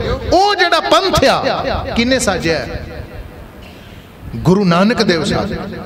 ਦੋ ਬਚਨ ਸਾਂਝੇ ਕਰ ਦਿੱਤੇ। ਮਾਰਿਆ ਸਿੱਕਾ ਜਗਤ ਵਿੱਚ ਨਾਨਕ ਨਿਰਮਲ, ਪੰਥ ਚਲਾਇਆ ਤੇ ਕੀਤੋ ਸੁ ਆਪਣਾ ਪੰਥ ਨਿਰਾਲਾ ਜਿਸ ਨੂੰ 10ਵੇਂ ਜਾਮੇ 'ਚ ਜਾ ਕੇ ਕਹਿੰਦੇ, ਜਬ ਲਗ ਖਾਲਸਾ ਰਹੇ ਨਿਆਰਾ। ਦੂਜੇ ਭਾਈ ਗੁਰਦਾਸ ਜੀ ਨੇ ਲਿਖਿਆ, ਪੜ੍ਹਦੇ ਹੋ ਨਾ? ਵਾਹ ਵਾਹ, ਗੋਬਿੰਦ ਸਿੰਘ, ਆਪੇ ਗੁਰਚੇਲਾ ਤੇ ਕੀ ਆਖਿਆ ਉੱਤੇ ਗੁਰ ਸੰਗਤ ਕੀਨੀ ਖਾਲਸਾ। ਜਿਸ ਨੂੰ ਅੱਜ ਤੱਕ ਗੁਰੂ ਨਾਨਕ ਤੋਂ ਲੈ ਕੇ 1699 ਦੀ ਵਿਸਾਖੀ ਤੱਕ ਜਿਸ ਨੂੰ 230 ਸਾਲ ਗੁਰਸੰਗਤ ਕਿਹਾ ਜਾਂਦਾ ਰਿਹਾ। ਕਿਹੜੇ ਭਲਾ 230 ਸਾਲ? ਉਹਨੂੰ ਕੀ ਬਣਾਤਾ ਹੁਣ? ਗੁਰਸੰਗਤ ਕੀਨੀ? ਖਾਲਸਾ। ਕਿਹੜੇ 230 ਸਾਲ? ਆਖੋ ਸਤਨਾਮ ਸ਼੍ਰੀ। ਪਤਾ ਹੋਣਾ ਚਾਹੀਦਾ ਨਾ? ਗੁਰੂ ਨਾਨਕ ਦੇ ਆਗਮਨ ਤੋਂ ਲੈ ਕੇ ਖਾਲਸਾ ਸਾਜਣ ਤੱਕ। ਕਿੰਨੇ ਸਾਲ ਲੱਗੇ ਆ? ਇਹ 230 ਸਾਲ ਇਹਨੂੰ ਗੁਰ ਸੰਗਤ ਕਿਹਾ ਜਾਂਦਾ ਰਿਹਾ। ਗੁਰੂ ਕੀ ਸੰਗਤ, ਗੁਰੂ ਕੀ ਸਾਧ ਸੰਗਤ, ਗੁਰੂ ਦੇ ਪਿਆਰ ਵਾਲੇ। ਹੁਣ ਕੀ ਕਹਿਣ ਲੱਗ ਪਏ? ਖਾਲਸਾ। ਗੁਰੂ ਨਾਨਕ ਦੇਵ ਸਾਹਿਬ ਦਾ ਆਗਮਨ, ਗੁਰੂ ਨਾਨਕ ਦੇਵ ਸਾਹਿਬ ਦਾ ਪ੍ਰਕਾਸ਼। ਸਨ 1469 ਜਿਹੜਾ ਅੱਜ 550 ਸਾਲਾ ਮਨਾ ਰਹੇ ਹੋ, ਇਸ 2019 ਚ। ਸਨ 1469 ਚ ਬਾਬੇ ਦਾ ਆਗਮਨ, ਖਾਲਸਾ 1699 230 ਸਾਲ ਉਸ ਨਿਰਮਲ ਪੰਥ ਨੂੰ ਖਾਲਸਾ ਪੰਥ ਬਣਾਉਣ ਵਾਸਤੇ ਲੱਗੇ। 230 ਸਾਲ ਉਸ ਗੁਰ ਸੰਗਤ ਕੀਨੀ ਖਾਲਸਾ, ਉਸ ਗੁਰ ਸੰਗਤ ਨੂੰ ਖਾਲਸਾ ਬਣਾਉਣ ਵਾਸਤੇ 230 ਸਾਲ ਲੱਗੇ ਤੇ ਕੇਸਗੜ੍ਹ ਸਾਹਿਬ ਆਨੰਦਪੁਰ ਸਾਹਿਬ ਦੀ ਧਰਤੀ ਤੇ ਆਖਿਆ ਇਹ ਖਾਲਸਾ ਹੋ ਗਿਆ ਹੁਣ। ਗੁਰ ਸੰਗਤ ਕੀਨੀ ਖਾਲਸਾ ਮਨ ਮੁਖੀ ਦੁਹੇਲਾ, ਵਾਹ ਵਾਹ ਗੋਬਿੰਦ ਸਿੰਘ ਆਪੇ ਗੁਰ ਚੇਲਾ। ਕਿੰਨੇ ਬਣਾਈ ਗੁਰ ਸੰਗਤ? ਕਿੰਨੇ ਬਣਾਇਆ ਨਿਰਮਲ ਪੰਥ? ਕਿਨੇ ਬਣਾਇਆ ਕੀਤੋ ਸੋ ਆਪਣਾ ਪੰਥ ਨਰਾਲਾ? ਧੰਨ ਸ਼੍ਰੀ ਗੁਰੂ ਨਾਨਕ ਦੇਵ ਸਾਹਿਬ ਨੇ। ਆ ਜਿਹੜੀ ਸ਼ਹਾਦਤਾਂ ਦੀ ਗੱਲ ਆਪਾਂ ਕਰਨੇ ਆ, ਕਿੰਨੇ ਰੱਖੀ ਉਹ ਬਾਤ ਗੁਰੂ ਗ੍ਰੰਥ ਸਾਹਿਬ ਦੀ ਪਵਿੱਤਰ ਬਾਣੀ 'ਚ। ਕਿੰਨੇ ਖਸਮ ਦੀ ਬਾਣੀ 'ਚ ਆਖਿਆ, ਜੋ ਤੋ ਪ੍ਰੇਮ ਖੇਲਣ ਕਾ ਚਾਓ ਕਿਨੇ ਆਖਿਆ ਹੈ ਸਿਰ ਧਰ ਤਲੀ, ਗਲੀ ਮੇਰੀ ਆਓ। ਕਿਹਦਾ ਸ਼ਲੋਕ ਹੈ? ਧੰਨ ਸ਼੍ਰੀ ਗੁਰੂ ਨਾਨਕ ਦੇਵ ਸਾਹਿਬ। ਮੈਂ ਬੇਨਤੀ ਕਰ ਰਿਹਾ 10 ਦੇ 10 ਬਾਕੀ ਗੁਰੂ ਸਾਹਿਬਾਨ ਗੁਰੂ ਨਾਨਕ ਸਾਹਿਬ ਤੋਂ ਬਾਅਦ ਨੌ ਪਾਤਸ਼ਾਹੀਆਂ। ਅੱਜ ਗੁਰੂ ਗ੍ਰੰਥ ਸਾਹਿਬ ਦੀ ਜਿੰਨੀ ਵਿਚਾਰਧਾਰਾ ਹੈ, ਗੁਰੂ ਨਾਨਕ ਦੀ ਵਿਚਾਰਧਾਰਾ ਚੇਤੇ ਰੱਖਣਾ ਹੈ। ਧਰਮ ਵਾਸਤੇ ਸਿਰ ਦੇਣ ਦੀ ਬਾਤ ਗੁਰੂ ਨਾਨਕ ਨੇ ਪਾਈ। ਆਪਾ ਕੁਰਬਾਨ ਕਰਨ ਦੀ ਗੱਲ ਸਿਰ ਧਰ ਤਲੀ ਗਲੀ ਮੇਰੀ ਆਓ ਦੀ ਬਾਤ ਗੁਰੂ ਨਾਨਕ ਨੇ ਆਖੀ ਆ, ਦੋ ਬਚਨ ਸੁਣਿਓ ਜੇ। ਇਹ ਗੁਰੂ ਨਾਨਕ ਦੇਵ ਸਾਹਿਬ ਦੇ ਸ਼ਲੋਕ ਆ। ਜੋ ਤੋ ਪ੍ਰੇਮ ਖੇਲਣ ਕਾ ਚਾਓ ਸਿਰ ਧਰ ਤਲੀ ਗਲੀ ਮੇਰੀ ਆਓ, ਇਤ ਮਾਰਗ ਪੈਰ ਤਰੀ ਜੈ, ਸਿਰ ਦੀਜੈ ਕਾਣ ਨ ਕੀਜੈ। ਐ ਬਚਨ ਰਾਗ ਵਡਹੰਸ ਵਿੱਚ ਗੁਰੂ ਨਾਨਕ ਦੇਵ ਸਾਹਿਬ ਦੇ ਆ, ਮਰਨ ਮੁਨਸਾ ਸੂਰਿਆਂ, ਹੱਕ ਹੈ। ਜੋ ਹੋਏ ਮਰਨ ਪਰਵਾਣੂ, ਸੂਰੇ ਸੇ ਹੀ ਆਗੇ ਆਖੀਏ ਦਰਗਹ ਪਾਵੇ ਸਾਚੀ ਮਾਣੋ। ਗੁਰੂ ਨਾਨਕ ਦੇਵ ਸਾਹਿਬ ਦੇ ਬਚਨ ਹੈ ਇਹਦਾ ਮਤਲਬ ਧਰਮ ਵਾਸਤੇ ਸਿਰ ਦੇਣ ਦੀ ਬਾਤ ਕਿੰਨੇ ਪਾਈ ਸਿਰ ਤਲੀ ਤੇ ਰੱਖ ਕੇ ਆਉਣਾ, ਜਿੰਦ ਤਲੀ ਤੇ ਰੱਖ ਕੇ ਇਸ ਦਰ ਤੇ ਆਉਣਾ, ਕਿੰਨੇ ਪਾਈ ਬਾਤ? ਧੰਨ ਸ਼੍ਰੀ ਗੁਰੂ। ਨਾਨਕ ਦੇ ਮੁੱਢ ਮੁੱਢ ਦੀ ਗੱਲ ਕਰ ਰਿਹਾ, ਬੇਸ ਤੁਹਾਡਾ ਜਿਹੜਾ ਸਿੱਖੀ ਦਾ। ਔਰ ਚੇਤੇ 'ਚ ਰੱਖਿਓ ਇੱਕ ਗੱਲ, ਸਿੱਖੀ ਤੋਂ ਮੈਨੂੰ ਗੱਲ ਚੇਤੇ ਆ ਗਈ। ਗੁਰੂ ਨਾਨਕ ਦੇ ਆਗਮਨ ਨੂੰ, ਗੁਰੂ ਨਾਨਕ ਦੇਵ ਸਾਹਿਬ ਦੇ ਪ੍ਰਕਾਸ਼ ਨੂੰ 550 ਸਾਲ ਹੋ ਗਏ ਆ। ਤੇ ਇੱਕ ਨਾਲ ਗੱਲ ਹੋਰ ਜੋੜ ਲਿਓ। ਪਤਾ ਕੀ? ਜਦੋਂ ਗੁਰੂ ਨਾਨਕ ਦਾ ਆਗਮਨ ਹੋਇਆ ਆ, ਉਦੋਂ ਹੀ ਸਿੱਖੀ ਦਾ ਆਗਮਨ ਹੋਇਆ ਆ। ਜੇ ਗੁਰੂ ਨਾਨਕ ਦਾ ਆਗਮਨ ਤਲਵੰਡੀ ਦੀ ਧਰਤੀ ਤੇ ਭਾਵ ਨਨਕਾਣਾ ਸਾਹਿਬ ਆ, ਤੇ ਸਿੱਖੀ ਦਾ ਆਗਮਨ ਵੀ ਨਨਕਾਣਾ ਸਾਹਿਬ। ਜਦੋਂ ਬਾਬਾ ਨਾਨਕ ਪੈਦਾ ਹੋਇਆ, ਜਦੋਂ ਗੁਰੂ ਨਾਨਕ ਦਾ ਆਗਮਨ ਹੋਇਆ, ਪ੍ਰਕਾਸ਼ ਹੋਇਆ ਗੁਰੂ ਨਾਨਕ ਦਾ, ਉਦੋਂ ਹੀ ਸਿੱਖੀ ਪੈਦਾ ਹੋ ਗਈ। ਜੇ ਗੁਰੂ ਨਾਨਕ ਨੂੰ ਧਰਤੀ ਤੇ ਆਇਆਂ ਨੂੰ 550 ਸਾਲ ਹੋ ਗਿਆ, ਤੇ ਸਿੱਖੀ ਪੈਦਾ ਹੋਈ ਨੂੰ 550 ਸਾਲ ਹੋ ਗਿਆ। ਸਿੱਖੀ ਦਾ ਆਗਮਨ ਵੀ ਨਨਕਾਣਾ ਸਾਹਿਬ ਹੀ ਹੈ। ਯਾਦ ਰੱਖਣਾ, ਸਿੱਖੀ ਸਿੱਖਿਆ ਗੁਰ ਵਿਚਾਰ ਉਹ ਜਿਹੜੀ ਸਿੱਖੀ ਹੈ ਗੁਰੂ ਨਾਨਕ ਦੀ।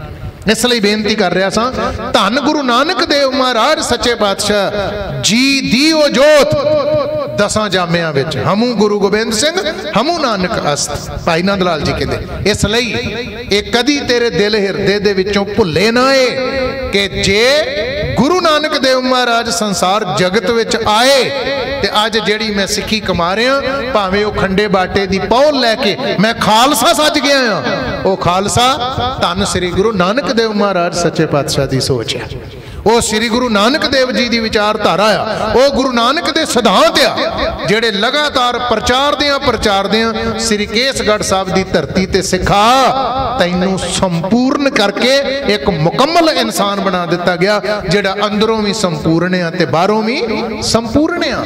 ਇੱਕ ਵਿਦਵਾਨ ਪਤਾ ਕੀ ਆਖਦਾ? ਕਹਿੰਦਾ, ਫਰਿਸ਼ਤੋਂ ਸੇ ਬਿਹਤਰ ਹੈ ਇਨਸਾਨ ਬਣਨਾ। ਸਾਡੀ ਕੌਮ ਦਾ ਬੜਾ ਪਿਆਰਾ ਵਿਦਵਾਨ ਹੋਇਆ, ਪ੍ਰੋਫੈਸਰ ਪੂਰਨ ਸਿੰਘ। ਖਿਮਾ ਕਰਿਓ ਇਹ ਸਚਾਈ ਜੀ। ਅੱਜ ਦੇ ਸਿੱਖਾ ਤੇਰੇ ਕੋਲ ਅੰਮ੍ਰਿਤ ਵੇਲੇ ਨਿਤਨੇਮ ਕਰਨ ਵਾਸਤੇ ਸ਼ਾਮ ਨੂੰ ਰਹਿ ਰਾਜ ਸਾਹਿਬ ਦਾ ਪਾਠ ਕਰਨ ਲਈ ਅੱਜ ਤੇਰੇ ਕੋਲ ਟਾਈਮ ਨਹੀਂ ਨਿਕਲਦਾ, ਸਮਾਂ ਨਹੀਂ ਨਿਕਲਦਾ। ਇਹਨਾਂ ਵਿਦਵਾਨਾਂ ਨੂੰ ਕਦੋਂ ਪੜਾਂਗੇ ਆਪਾਂ? ਪੜਨ ਦੀ ਰੁਚੀ ਵੀ ਸਾਡੇ ਚੋਂ ਮੁੱਕਣ ਲੱਗ ਪਈ ਆ। ਪ੍ਰੋਫੈਸਰ ਪੂਰਨ ਸਿੰਘ ਜਦੋਂ ਖਾਲਸੇ ਦੀ ਬਾਤ ਪਾਉਂਦਾ ਉਹ ਵਿਦਵਾਨ, ਪਤਾ ਕੀ ਲਿਖਦਾ ਇਹਨੂੰ ਪੂਰਨ ਮਨੁੱਖ ਲਿਖਦਾ, ਪੂਰਨ ਮਨੁੱਖ, ਸੰਪੂਰਨ ਇਨਸਾਨ, ਜਿਹੜਾ ਅੰਦਰੋਂ ਵੀ ਸੰਪੂਰਨ ਆ ਤੇ ਬਾਹਰੋਂ ਵੀ ਸੰਪੂਰਨ ਆ। ਉਹਨੂੰ ਸੰਪੂਰਨ ਕਰਨ ਵਾਸਤੇ 230 ਸਾਲ ਲੱਗੇ, ਜਿੱਦਣ ਕਲਗੀਧਰ ਪਾਤਸ਼ਾਹ ਨੇ ਆਨੰਦਪੁਰ ਸਾਹਿਬ ਦੀ ਧਰਤੀ ਤੇ ਸ੍ਰੀ ਕੇਸਗੜ੍ਹ ਸਾਹਿਬ ਤੈਨੂੰ ਪੰਜਾਂ ਕਕਾਰਾਂ ਦਾ ਧਾਰਨੀ ਬਣਾ ਕੇ ਖੰਡੇ ਦੀ ਪੌਲ ਬਖਸ਼ ਕੇ ਆਪਣੇ ਗਲ ਨਾਲ ਲਾ ਕੇ ਤੈਨੂੰ ਖਾਸ ਰੂਪ ਬਣਾ ਦਿੱਤਾ ਉਹਨੇ। ਉਹ ਸੋਚ ਸ੍ਰੀ ਗੁਰੂ ਨਾਨਕ ਦੇਵ ਮਹਾਰਾਜ ਸੱਚੇ ਪਾਤਸ਼ਾਹ ਦੀ ਮਾਰਿਆ ਸਿੱਕਾ ਜਗਤ ਵਿੱਚ ਨਾਨਕ ਨਿਰਮਲ ਪੰਥ ਚਲਾਇਆ, ਇਕਾਗਰ ਰਿਓ ਜਿਹੜੀ ਮੈਂ ਬੇਨਤੀ ਕਰ ਰਿਹਾ ਸਾਂ। ਸਤਗੁਰ ਸੱਚਾ ਪਾਤਸ਼ਾਹ। ਤੇ ਹੈ ਕਿਹੋ ਜਿਹਾ? ਭਾਈ ਗੁਰਦਾਸ ਕਹਿੰਦੇ, ਬੇਪਰਵਾਹ। ਬੇਪਰਵਾਹ? ਅਥਾ ਸੁਹਾਬਾ। ਬੇਪਰਵਾਹ, ਕਿੰਨਾ ਕੁ ਬੇਪਰਵਾਹ ਆ ਜੇ ਸੱਚਾ ਪਾਤਸ਼ਾਹ ਆ, ਉਹ ਸੱਚਾ ਸ਼ਹਿਨशाह ਆ। ਬੇਪਰਵਾਹ ਕਿੰਨਾ ਕਿਹਾ ਉਹ? ਸਾਹਮਣੇ ਬੈਠਾ ਹੋਵੇ ਬਾਬਰ। ਆਪਣੇ ਦਿਲਾਂ 'ਚ ਵੀ ਕਦੀ ਅੱਜ ਝਾਤ ਮਾਰ ਕੇ ਇਹਨੂੰ ਸਵੈ ਪੜਚੋਲ ਕਹਿੰਦੇ ਆ। ਆਪਣੀ ਪੜਚੋਲ ਕਰਨੀ 550 ਸਾਲਾਂ 'ਚ। ਆਪਾਂ ਕਿੱਥੇ ਕਿਤੇ ਖਲੋਤੇ ਅੱਜ? ਸਾਹਮਣੇ ਬਾਬਰ ਬੈਠਾ, ਨੰਗੀ ਤਲਵਾਰ ਕੋਲ ਹੋਵੇ, ਲਾਸ਼ਾਂ ਦਾ ਢੇਰ ਲੱਗਾ ਹੋਵੇ। ਏਮਨਾਬਾਦ ਦੀ ਧਰਤੀ ਤੇ ਲਾਸ਼ਾਂ ਦੇ ਢੇਰ ਲਾ ਦਿੱਤੇ ਉਹਨੇ ਆਣ ਕੇ। ਬਾਬਰ ਨੇ ਪਾਪ ਕੀ ਜੰਜ ਲੈ ਕਾਬਲੋਂ ਧਾਇਆ। ਇਹ ਗੁਰੂ ਨਾਨਕ ਸਾਹਿਬ ਨੇ ਆਖਿਆ, ਕਿੱਡਾ ਵੱਡਾ, ਕਿੱਡਾ ਪਿਆਰਾ ਸੱਚ ਗੁਰੂ ਨਾਨਕ ਦੇ ਕੋਲ ਆ। ਆ ਜਪਜੀ ਸਾਹਿਬ ਦਾ ਪਾਠ ਕੀਤਾ ਜਿੰਨਾ ਹੁਣ ਜਪਜੀ ਸਾਹਿਬ ਦਾ ਰੋਜ਼ ਕਰਿਆ ਕਰਨਾ। ਆਖੋ, ਸਤਨਾਮ ਸ਼੍ਰੀ। ਜਿਹੜੀ ਪਹਿਲੀ ਪੌੜੀ ਹੈ ਜਪਜੀ ਸਾਹਿਬ ਦੀ, ਉਹਦੇ ਚ ਇੱਕ ਪੰਕਤੀ ਆਈ। ਧਰਮ ਦੀ ਸਾਰੀ ਸਾਧਨਾ, ਧਰਮ ਦੀ ਸਾਰੀ ਮਸ਼ਕਤ, ਧਰਮ ਦੀ ਸਾਰੀ ਦੀ ਸਾਰੀ ਮਿਹਨਤ ਗੁਰੂ ਨਾਨਕ ਨੇ ਉਹਦੇ ਉੱਤੇ ਕੇਂਦਰਿਤ ਕਰ ਦਿੱਤੀ ਹੈ। ਪਤਾ ਕਿਹੜੀ ਪੰਕਤੀ? ਕਿਵ ਸਚਿਆਰਾ ਹੋਈ ਹੈ ਸਚਿਆਰੇ ਕਿਵੇਂ ਬਣੀਏ? ਸੱਚੇ ਸੁੱਚੇ ਜੀਵਨ ਵਾਲੇ ਕਿਵੇਂ ਬਣੀਏ?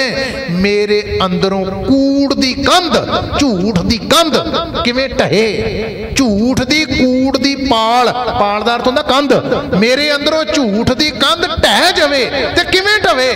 ਜਿੱਦਣ ਤੇਰੇ ਅੰਦਰੋਂ ਕੂੜ ਦੀ ਕੰਧ ਢਹਿ ਗਈ ਉਦਣ ਤੂੰ ਸਚਿਆਰਾ ਹੈ। ਉਦਣ ਤੂੰ ਸੱਚੇ ਸੁੱਚੇ ਜੀਵਨ ਵਾਲਾ। ਸੱਚ ਤੇ ਕੂੜ ਦੋਹੀ ਆ। ਆਖੋ ਸਤਨਾਮ ਸ਼੍ਰੀ। ਗੱਲ ਪਤਾ ਲੱਗਦੀ ਵੀ ਕਿਵ ਕੂੜਾ ਟੁੱਟੈ ਪਾਲ। ਕੂੜ ਦੀ ਪਾਲ ਕਿਵੇਂ ਟੁੱਟੇ? ਝੂਠ ਦੀ ਕੰਧ ਮੇਰੇ ਅੰਦਰੋਂ ਕਿਵੇਂ ਢਹੇ? ਤੇ ਮੈਂ ਸਚਿਆਰਾ ਹੋ ਜਾਵਾਂ। ਧਰਮ ਦੀ ਸਾਰੀ ਦੀ ਸਾਰੀ ਸਾਧਨਾ ਸਚਿਆਰੇ ਬਣਨ ਤੇ ਖਲੋਤੀ। ਹੈ ਤੇ ਉਦਣ ਬਣ ਜਾਣਾ ਵਾ ਜਿੱਦਣ ਤੂੰ ਹੁਕਮ ਚ ਆ ਗਿਆ। ਕਿ ਉਹ ਸਚਿਆਰਾ ਹੋਈ ਹੈ ਕਿ ਉਹ ਟੁੱਟਿਆ? ਪਾਲ ਤੇ ਤਰੀਕਾ ਕਿਹੜਾ? ਇਹ ਨਹੀਂ ਵੀ ਕੱਲਾ ਕੁਐਸਚਨ ਹੀ ਰਹਿਣ ਦਿੱਤਾ ਕੁਐਸਚਨ ਮਾਰਕ ਹੀ ਕਰ ਦਿੱਤਾ। ਬਸ, ਨਾ ਆਨਸਰ ਵੀ ਹੈ ਨਾਲ। ਹੁਕਮ ਰਜਾਈ ਚੱਲਣਾ।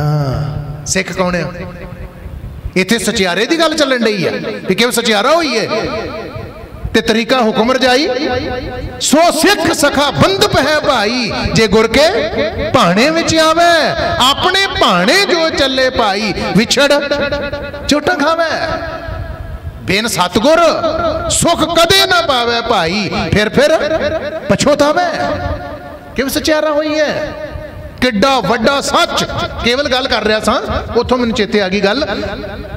ਪਾਪ ਕੀ ਜੰਜ ਲੈ ਕਾਬਲੋਂ ਧਾਇਆਦਾਰ ਹੁੰਦਾ ਦੌੜਿਆ, ਭੱਜਿਆ, ਉਥੋਂ ਆਇਆ।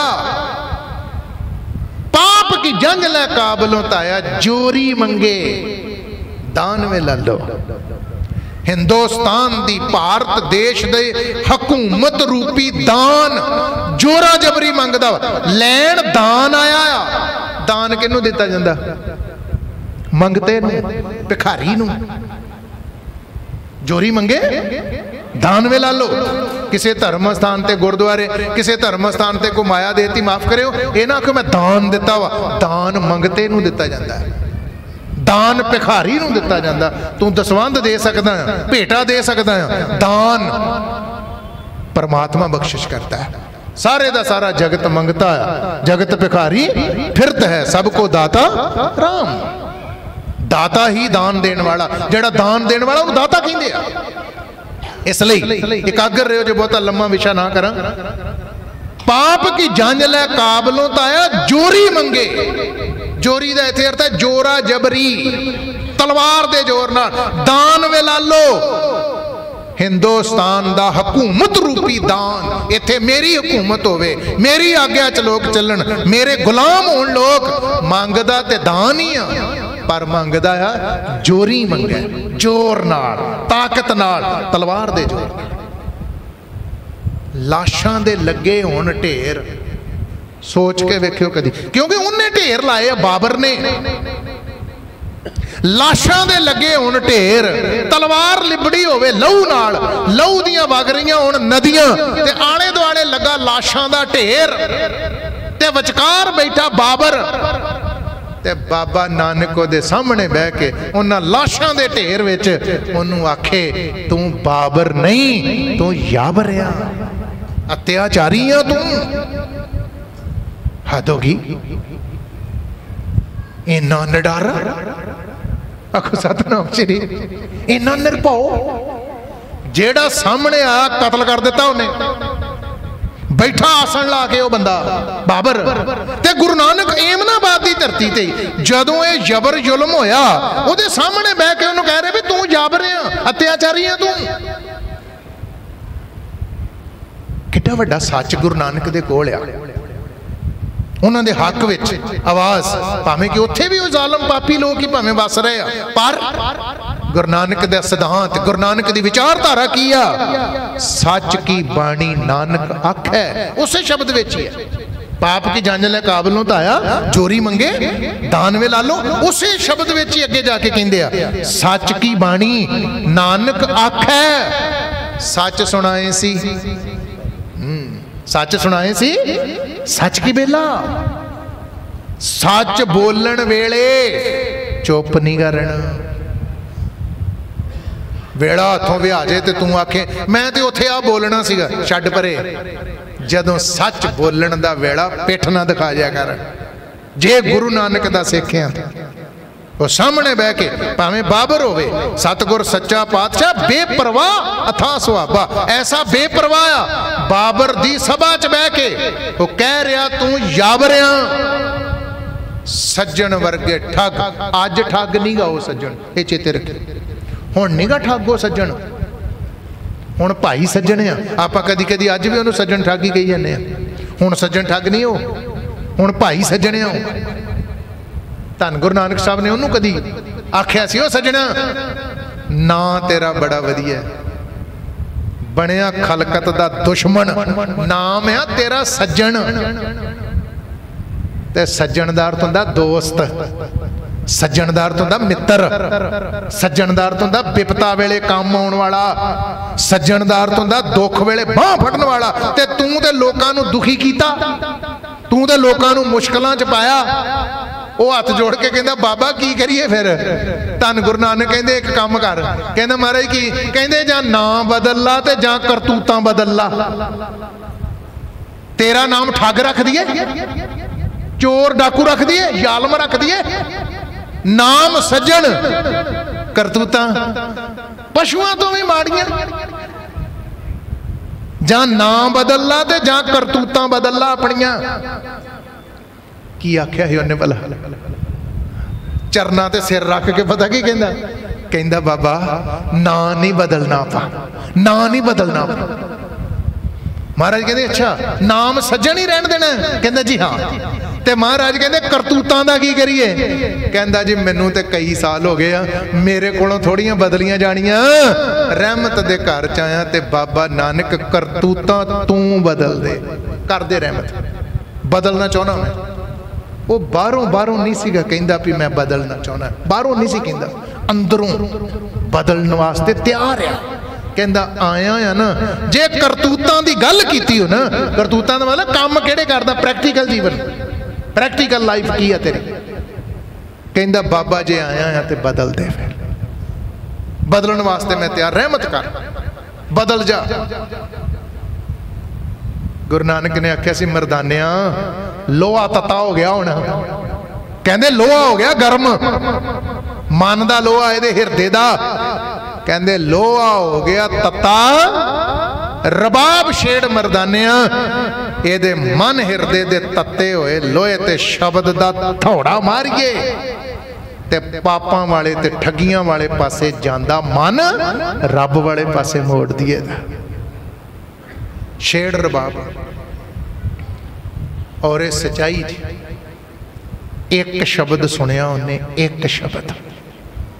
ਉਜਲ ਕਹਿਹਾਂ ਚਲਕਣਾ ਕੋਟ ਮਕਾਲੜੀ ਮਾਸ। ਸਾਖੀ ਤੇ ਕਈ ਵਾਰੀ ਸੁਣੀ ਹੋਊਗੀ। ਇੱਕ ਸ਼ਬਦ। ਪਰ ਮਾਫ ਕਰਿਓ, ਇਹ ਸਚਾਈ ਜੇ। ਸਾਡੇ ਨਾਲੋਂ ਚੰਗਾ ਹੈ। ਸਾਡੇ ਨਾਲੋਂ ਚੰਗਾ ਸੀ ਜੇ। ਤੇ ਤੁਸੀਂ ਹੈਰਾਨ ਹੋਗੇ ਵੀ ਸਾਡੇ ਨਾਲੋਂ ਚੰਗਾ ਕਿਵੇਂ ਹੋ ਗਿਆ? ਐਨੇ ਲੋਕਾਂ ਨੂੰ ਕਤਲ ਕੀਤਾ, ਮਾਰਿਆ, ਲੁੱਟਿਆ, ਕਈਆਂ ਦੀ ਜਾਨ ਲਈ ਉਹਨੇ। ਤੇ ਸਾਡੇ ਨਾਲੋਂ ਚੰਗਾ ਕਿਵੇਂ ਹੋ ਗਿਆ? ਇਸ ਕਰਕੇ ਉਹਨੇ ਗੁਰੂ ਨਾਨਕ ਦਾ ਇੱਕ ਸ਼ਬਦ ਸੁਣਿਆ, ਸਾਰੀ ਦੀ ਸਾਰੀ ਮੈਲ ਧੁੱਪ ਗਈ ਤੇ ਸੁਰਤ ਪ੍ਰੀਤਮ ਦੇ ਚਰਨਾਂ 'ਚ, ਪ੍ਰਭੂ ਚਰਨਾਂ 'ਚ। ਕਿੰਨੀ ਵਾਰੀ ਆਸਾ ਕੀ ਵਾਰ ਦਾ ਕੀਰਤਨ ਕਰ ਲਿਆ ਤੇ ਸੁਣ ਲਿਆ, ਕਿੰਨੇ ਸ਼ਬਦਾਂ ਦੀ ਕਥਾ ਕਰ ਲਈ ਹੁਣ ਤੱਕ। ਤੇ ਕਿੰਨੇ ਸ਼ਬਦਾਂ ਦੀ ਕਥਾ ਸੁਣ ਲਈ ਆ। ਹੁਣ ਤੱਕ ਕਿੰਨੇ ਅਖੰਡ ਪਾਠ ਸਾਹਿਬ, ਕਿੰਨੇ ਸਹਿਜ ਪਾਠ ਕਰ ਲਈ ਕਿੰਨੀ ਵਾਰੀ ਪਾਠ ਸੁਣ ਲਿਆ ਹੀ ਤੇ ਕਿੰਨੇ ਪਾਠ ਕਰ ਲਿਆ? ਉਹਨੇ ਇੱਕ ਸ਼ਬਦ ਸੁਣਿਆ, ਇੱਕ ਸ਼ਬਦ। ਤੇ ਜਦੋਂ ਤੱਕ ਸ਼ਬਦ ਸਮਾਪਤ ਹੋਇਆ ਨਾ, ਭਾਈ ਵੀਰ ਸਿੰਘ ਰਾਂ ਨੇ ਇੱਕ ਬਚਨ ਲਿਖਿਆ, ਕਹਿੰਦੇ, ਬਾਬਾ ਨਾਨਕ ਗਾਵੇ, ਭਾਈ ਮਰਦਾਨਾ ਰਬਾਬ ਵਜਾਵੇ। ਤੇ ਸੱਜਣ ਅੱਖੀਆਂ ਚੋਂ ਅਥਰੂ ਸੁੱਟਦਾ ਕਦੀ ਕਦੀ ਅੱਖੀਆਂ ਦਾ ਪਾਣੀ ਦਿਲ ਦੀ ਮੈਲ ਧੋ ਦਿੰਦਾ ਹੈ ਕਦੀ ਕਦੀ ਅੱਖੀਆਂ ਦਾ ਪਾਣੀ ਬਰਾਗ ਵਿੱਚ ਆਇਆ ਹੋਇਆ ਅੱਖਾਂ ਦਾ ਜਲ ਕਦੇ ਕਦੇ ਤੇਰੇ ਅੰਤਸ਼ ਕਰਨ ਚੋਂ ਪਾਪਾਂ ਦੀ ਮੈਲ ਧੋ ਕੇ ਬਾਹਰ ਸੁੱਟ ਦਿੰਦਾ। ਬਾਬਾ ਨਾਨਕ ਪ੍ਰੀਤਮ ਦੀ ਬਾਣੀ ਗਾਵੇ, ਭਾਈ ਮਰਦਾਨਾ ਰਬਾਬ ਵਜਾਵੇ। ਜਦੋਂ ਤੱਕ ਸ਼ਬਦ ਸਮਾਪਤ ਹੋਇਆ, ਅੱਖਾਂ ਚੋਂ ਅਥਰੂ ਸੁੱਟ ਸੁੱਟ ਸੱਜਣ ਪ੍ਰਭੂ ਦੇ ਚਰਨਾਂ ਵਿੱਚ ਜੁੜ ਚੁੱਕਿਆ। ਸੱਜਣ ਸਾਰਿਆਂ ਦਾ ਸੱਜਣ ਬਣ ਚੁੱਕਾ। ਕਿਹੋ ਜਿਹਾ ਸੱਜਣ? ਸੱਜਣ ਸੇਈ ਨਾਲ ਮੈਂ ਚੱਲਦਿਆਂ ਨਾਲ ਚਲਨ, ਜਿੱਥੇ ਲੇਖਾ ਮੰਗੀ ਹੈ, ਤਿੱਥੇ ਖੜੇ ਦਸਨ। ਮੈਂ ਬੇਨਤੀ ਕਰ ਰਿਹਾ ਸਾਂ, ਕਿਹੋ ਜਿਹਾ ਬੇਮੋਤਾਜ ਆ? ਕਿਹੋ ਜਿਹਾ ਬੇਪਰਵਾਹ ਆ? ਸਤਗੁਰ ਸੱਚਾ ਪਾਤਸ਼ਾਹ, ਬੇਪਰਵਾਹ। ਕਿਸੇ ਦੀ ਪਰਵਾਹ ਨਹੀਂ।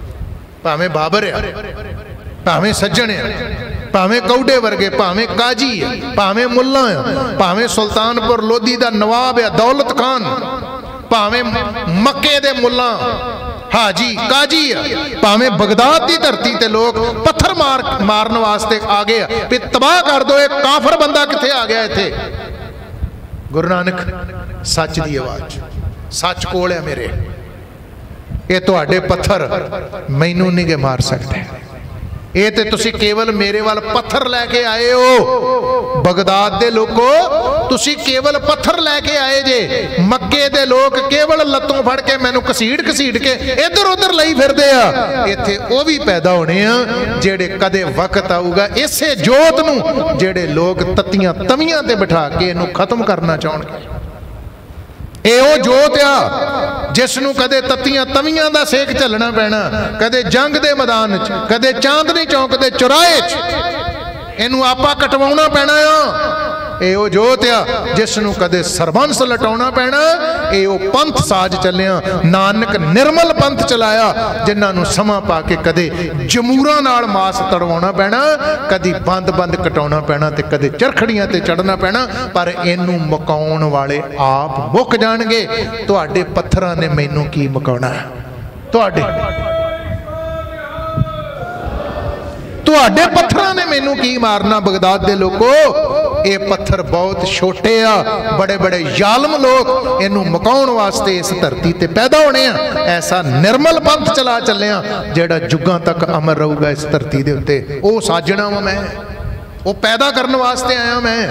ਸੋਚ ਕੇ ਵੇਖਿਓ ਕਦੀ। ਕਿਹੋ ਜਿਹਾ ਬੇਪਰਵਾਹ ਆ? ਭਾਵੇਂ ਉਹ ਬਗਦਾਦ, ਭਾਵੇਂ ਉਹ ਮੱਕਾ ਮਦੀਨਾ, ਯਾਦ ਰੱਖਿਓ ਜ਼ਿੰਦਗੀ 'ਚ। ਭਾਵੇਂ ਉਹ ਜਗਨਨਾਥਪੁਰੀ, ਭਾਵੇਂ ਹਰਦੁਆਰ ਦੀ ਧਰਤੀ, ਭਾਵੇਂ ਕਾਜੀ ਤੇ ਭਾਵੇਂ ਮੁੱਲਾ ਤੇ ਭਾਵੇਂ 9 ਸਾਲ ਦੀ ਉਮਰ ਵਿੱਚ ਹਰਦਿਆਲ ਪੰਡਤ ਤੇ ਭਾਵੇਂ 5 ਸਾਲ ਦੀ ਉਮਰ ਬਾਬੇ ਨਾਨਕ ਦੀ ਤੇ ਪੜਾਉਣ ਵਾਲਾ ਪੰਦਾ ਸੱਚੀ ਹੈ ਨਾ ਕੋਲ? ਇੱਕ ਜ਼ਿਕਰ ਕਰੂੰਗਾ 3-4 ਮਿੰਟ ਦਾ। ਬੇਪਰਵਾਹ ਅਥਾ ਸੁਆਪਾ ਕਿਹੋ ਜਿਹਾ ਬੇਪਰਵਾਹ ਆ ਉਹ? ਸੁਣਿਓ ਬੇਨਤੀ। ਜਿੱਦਣ ਹਰਦਿਆਲ ਪੰਡਤ ਆਇਆ, ਜਨ ਜਨੇਊ ਪਾਉਣ ਵਾਸਤੇ। ਇਹ ਤੇ ਬੜਾ ਸੁਣਿਆ ਆਪਾਂ ਤੇ ਪੜਿਆ ਵੀ ਹੈ ਆਪਾਂ ਨੂੰ ਪਤਾ ਵੀ ਗੁਰੂ ਨਾਨਕ ਸਾਹਿਬ ਨੇ ਆਖਿਆ, ਦਇਆ ਕਪਾ ਸੰਤੋਖ ਸੂਤ, ਜਤ ਗੰਢੀ ਸਤ ਵਟ। ਇਹ ਜਨੇਊ ਜੀ ਕਹਾ ਹੈ ਹੀ ਤਾਂ ਪਾਂਡੇ ਘੱਤ ਵੀ ਮੈਂ ਨਹੀਂ ਪਾਉਣਾ। ਗੁਰੂ ਨਾਨਕ ਕਹਿੰਦੇ, ਪੰਡਤ ਜੀ ਇੱਕ ਗੱਲ ਦੱਸੋ। ਕਹਿੰਦਾ ਜੀ ਪੁੱਛੋ। ਨਾਨਕ ਪੁੱਛ 9 ਸਾਲ ਦੀ ਉਮਰ ਹੈ ਗੁਰੂ ਨਾਨਕ। ਕਹਿੰਦੇ ਵੀ ਮੈਨੂੰ ਜਨੇਊ ਪਾਉਣਾ ਆ ਤੇ ਇਹ ਵੀ ਪੰਡਤ ਜੀ ਤੁਸੀਂ ਦੱਸਿਆ ਵੀ ਜਨੇਊ ਪਾਉਣ ਨਾਲ ਧਰਮੀ ਬਣ ਜਾਈਦਾ। ਜੇ ਤੂੰ ਇਹ ਜਨੇਊ ਪਾ ਲੈ ਨਾ, ਤੇ ਨਾਨਕ ਤੂੰ ਧਰਮੀ ਬਣ ਜਾਏਗਾ। ਪਤਾ ਲੱਗ ਗਿਆ ਮੈਨੂੰ। ਕਹਿੰਦੇ ਪਰ ਇੱਕ ਗੱਲ ਪੰਡਤ ਜੀ ਦੱਸੋ ਵੀ ਜਿਹੜਾ ਇਹ ਜਨੇਊ ਆ, ਇਹ ਛਤਰੀਆਂ ਦੇ ਬੱਚੇ ਆ ਜਿਹੜੇ ਖੱਤਰੀਆਂ ਦੇ, ਉਹਨਾਂ ਨੂੰ 9 ਸਾਲ ਦੀ ਉਮਰ ਚ ਪਾਈਦਾ ਉਮਰ ਵੀ ਵੱਖਰੀ ਵੱਖਰੀ ਹੈ, ਧਿਆਨ ਰੱਖਣਾ। ਕਿਤੇ ਸਮਾਂ ਮਿਲਿਆ, ਜ਼ਿਕਰ ਕਰਾਂਗੇ। ਕੇਵਲ ਟੂਕ ਮਾਤਰ ਗੱਲ ਕਰ ਰਿਹਾ।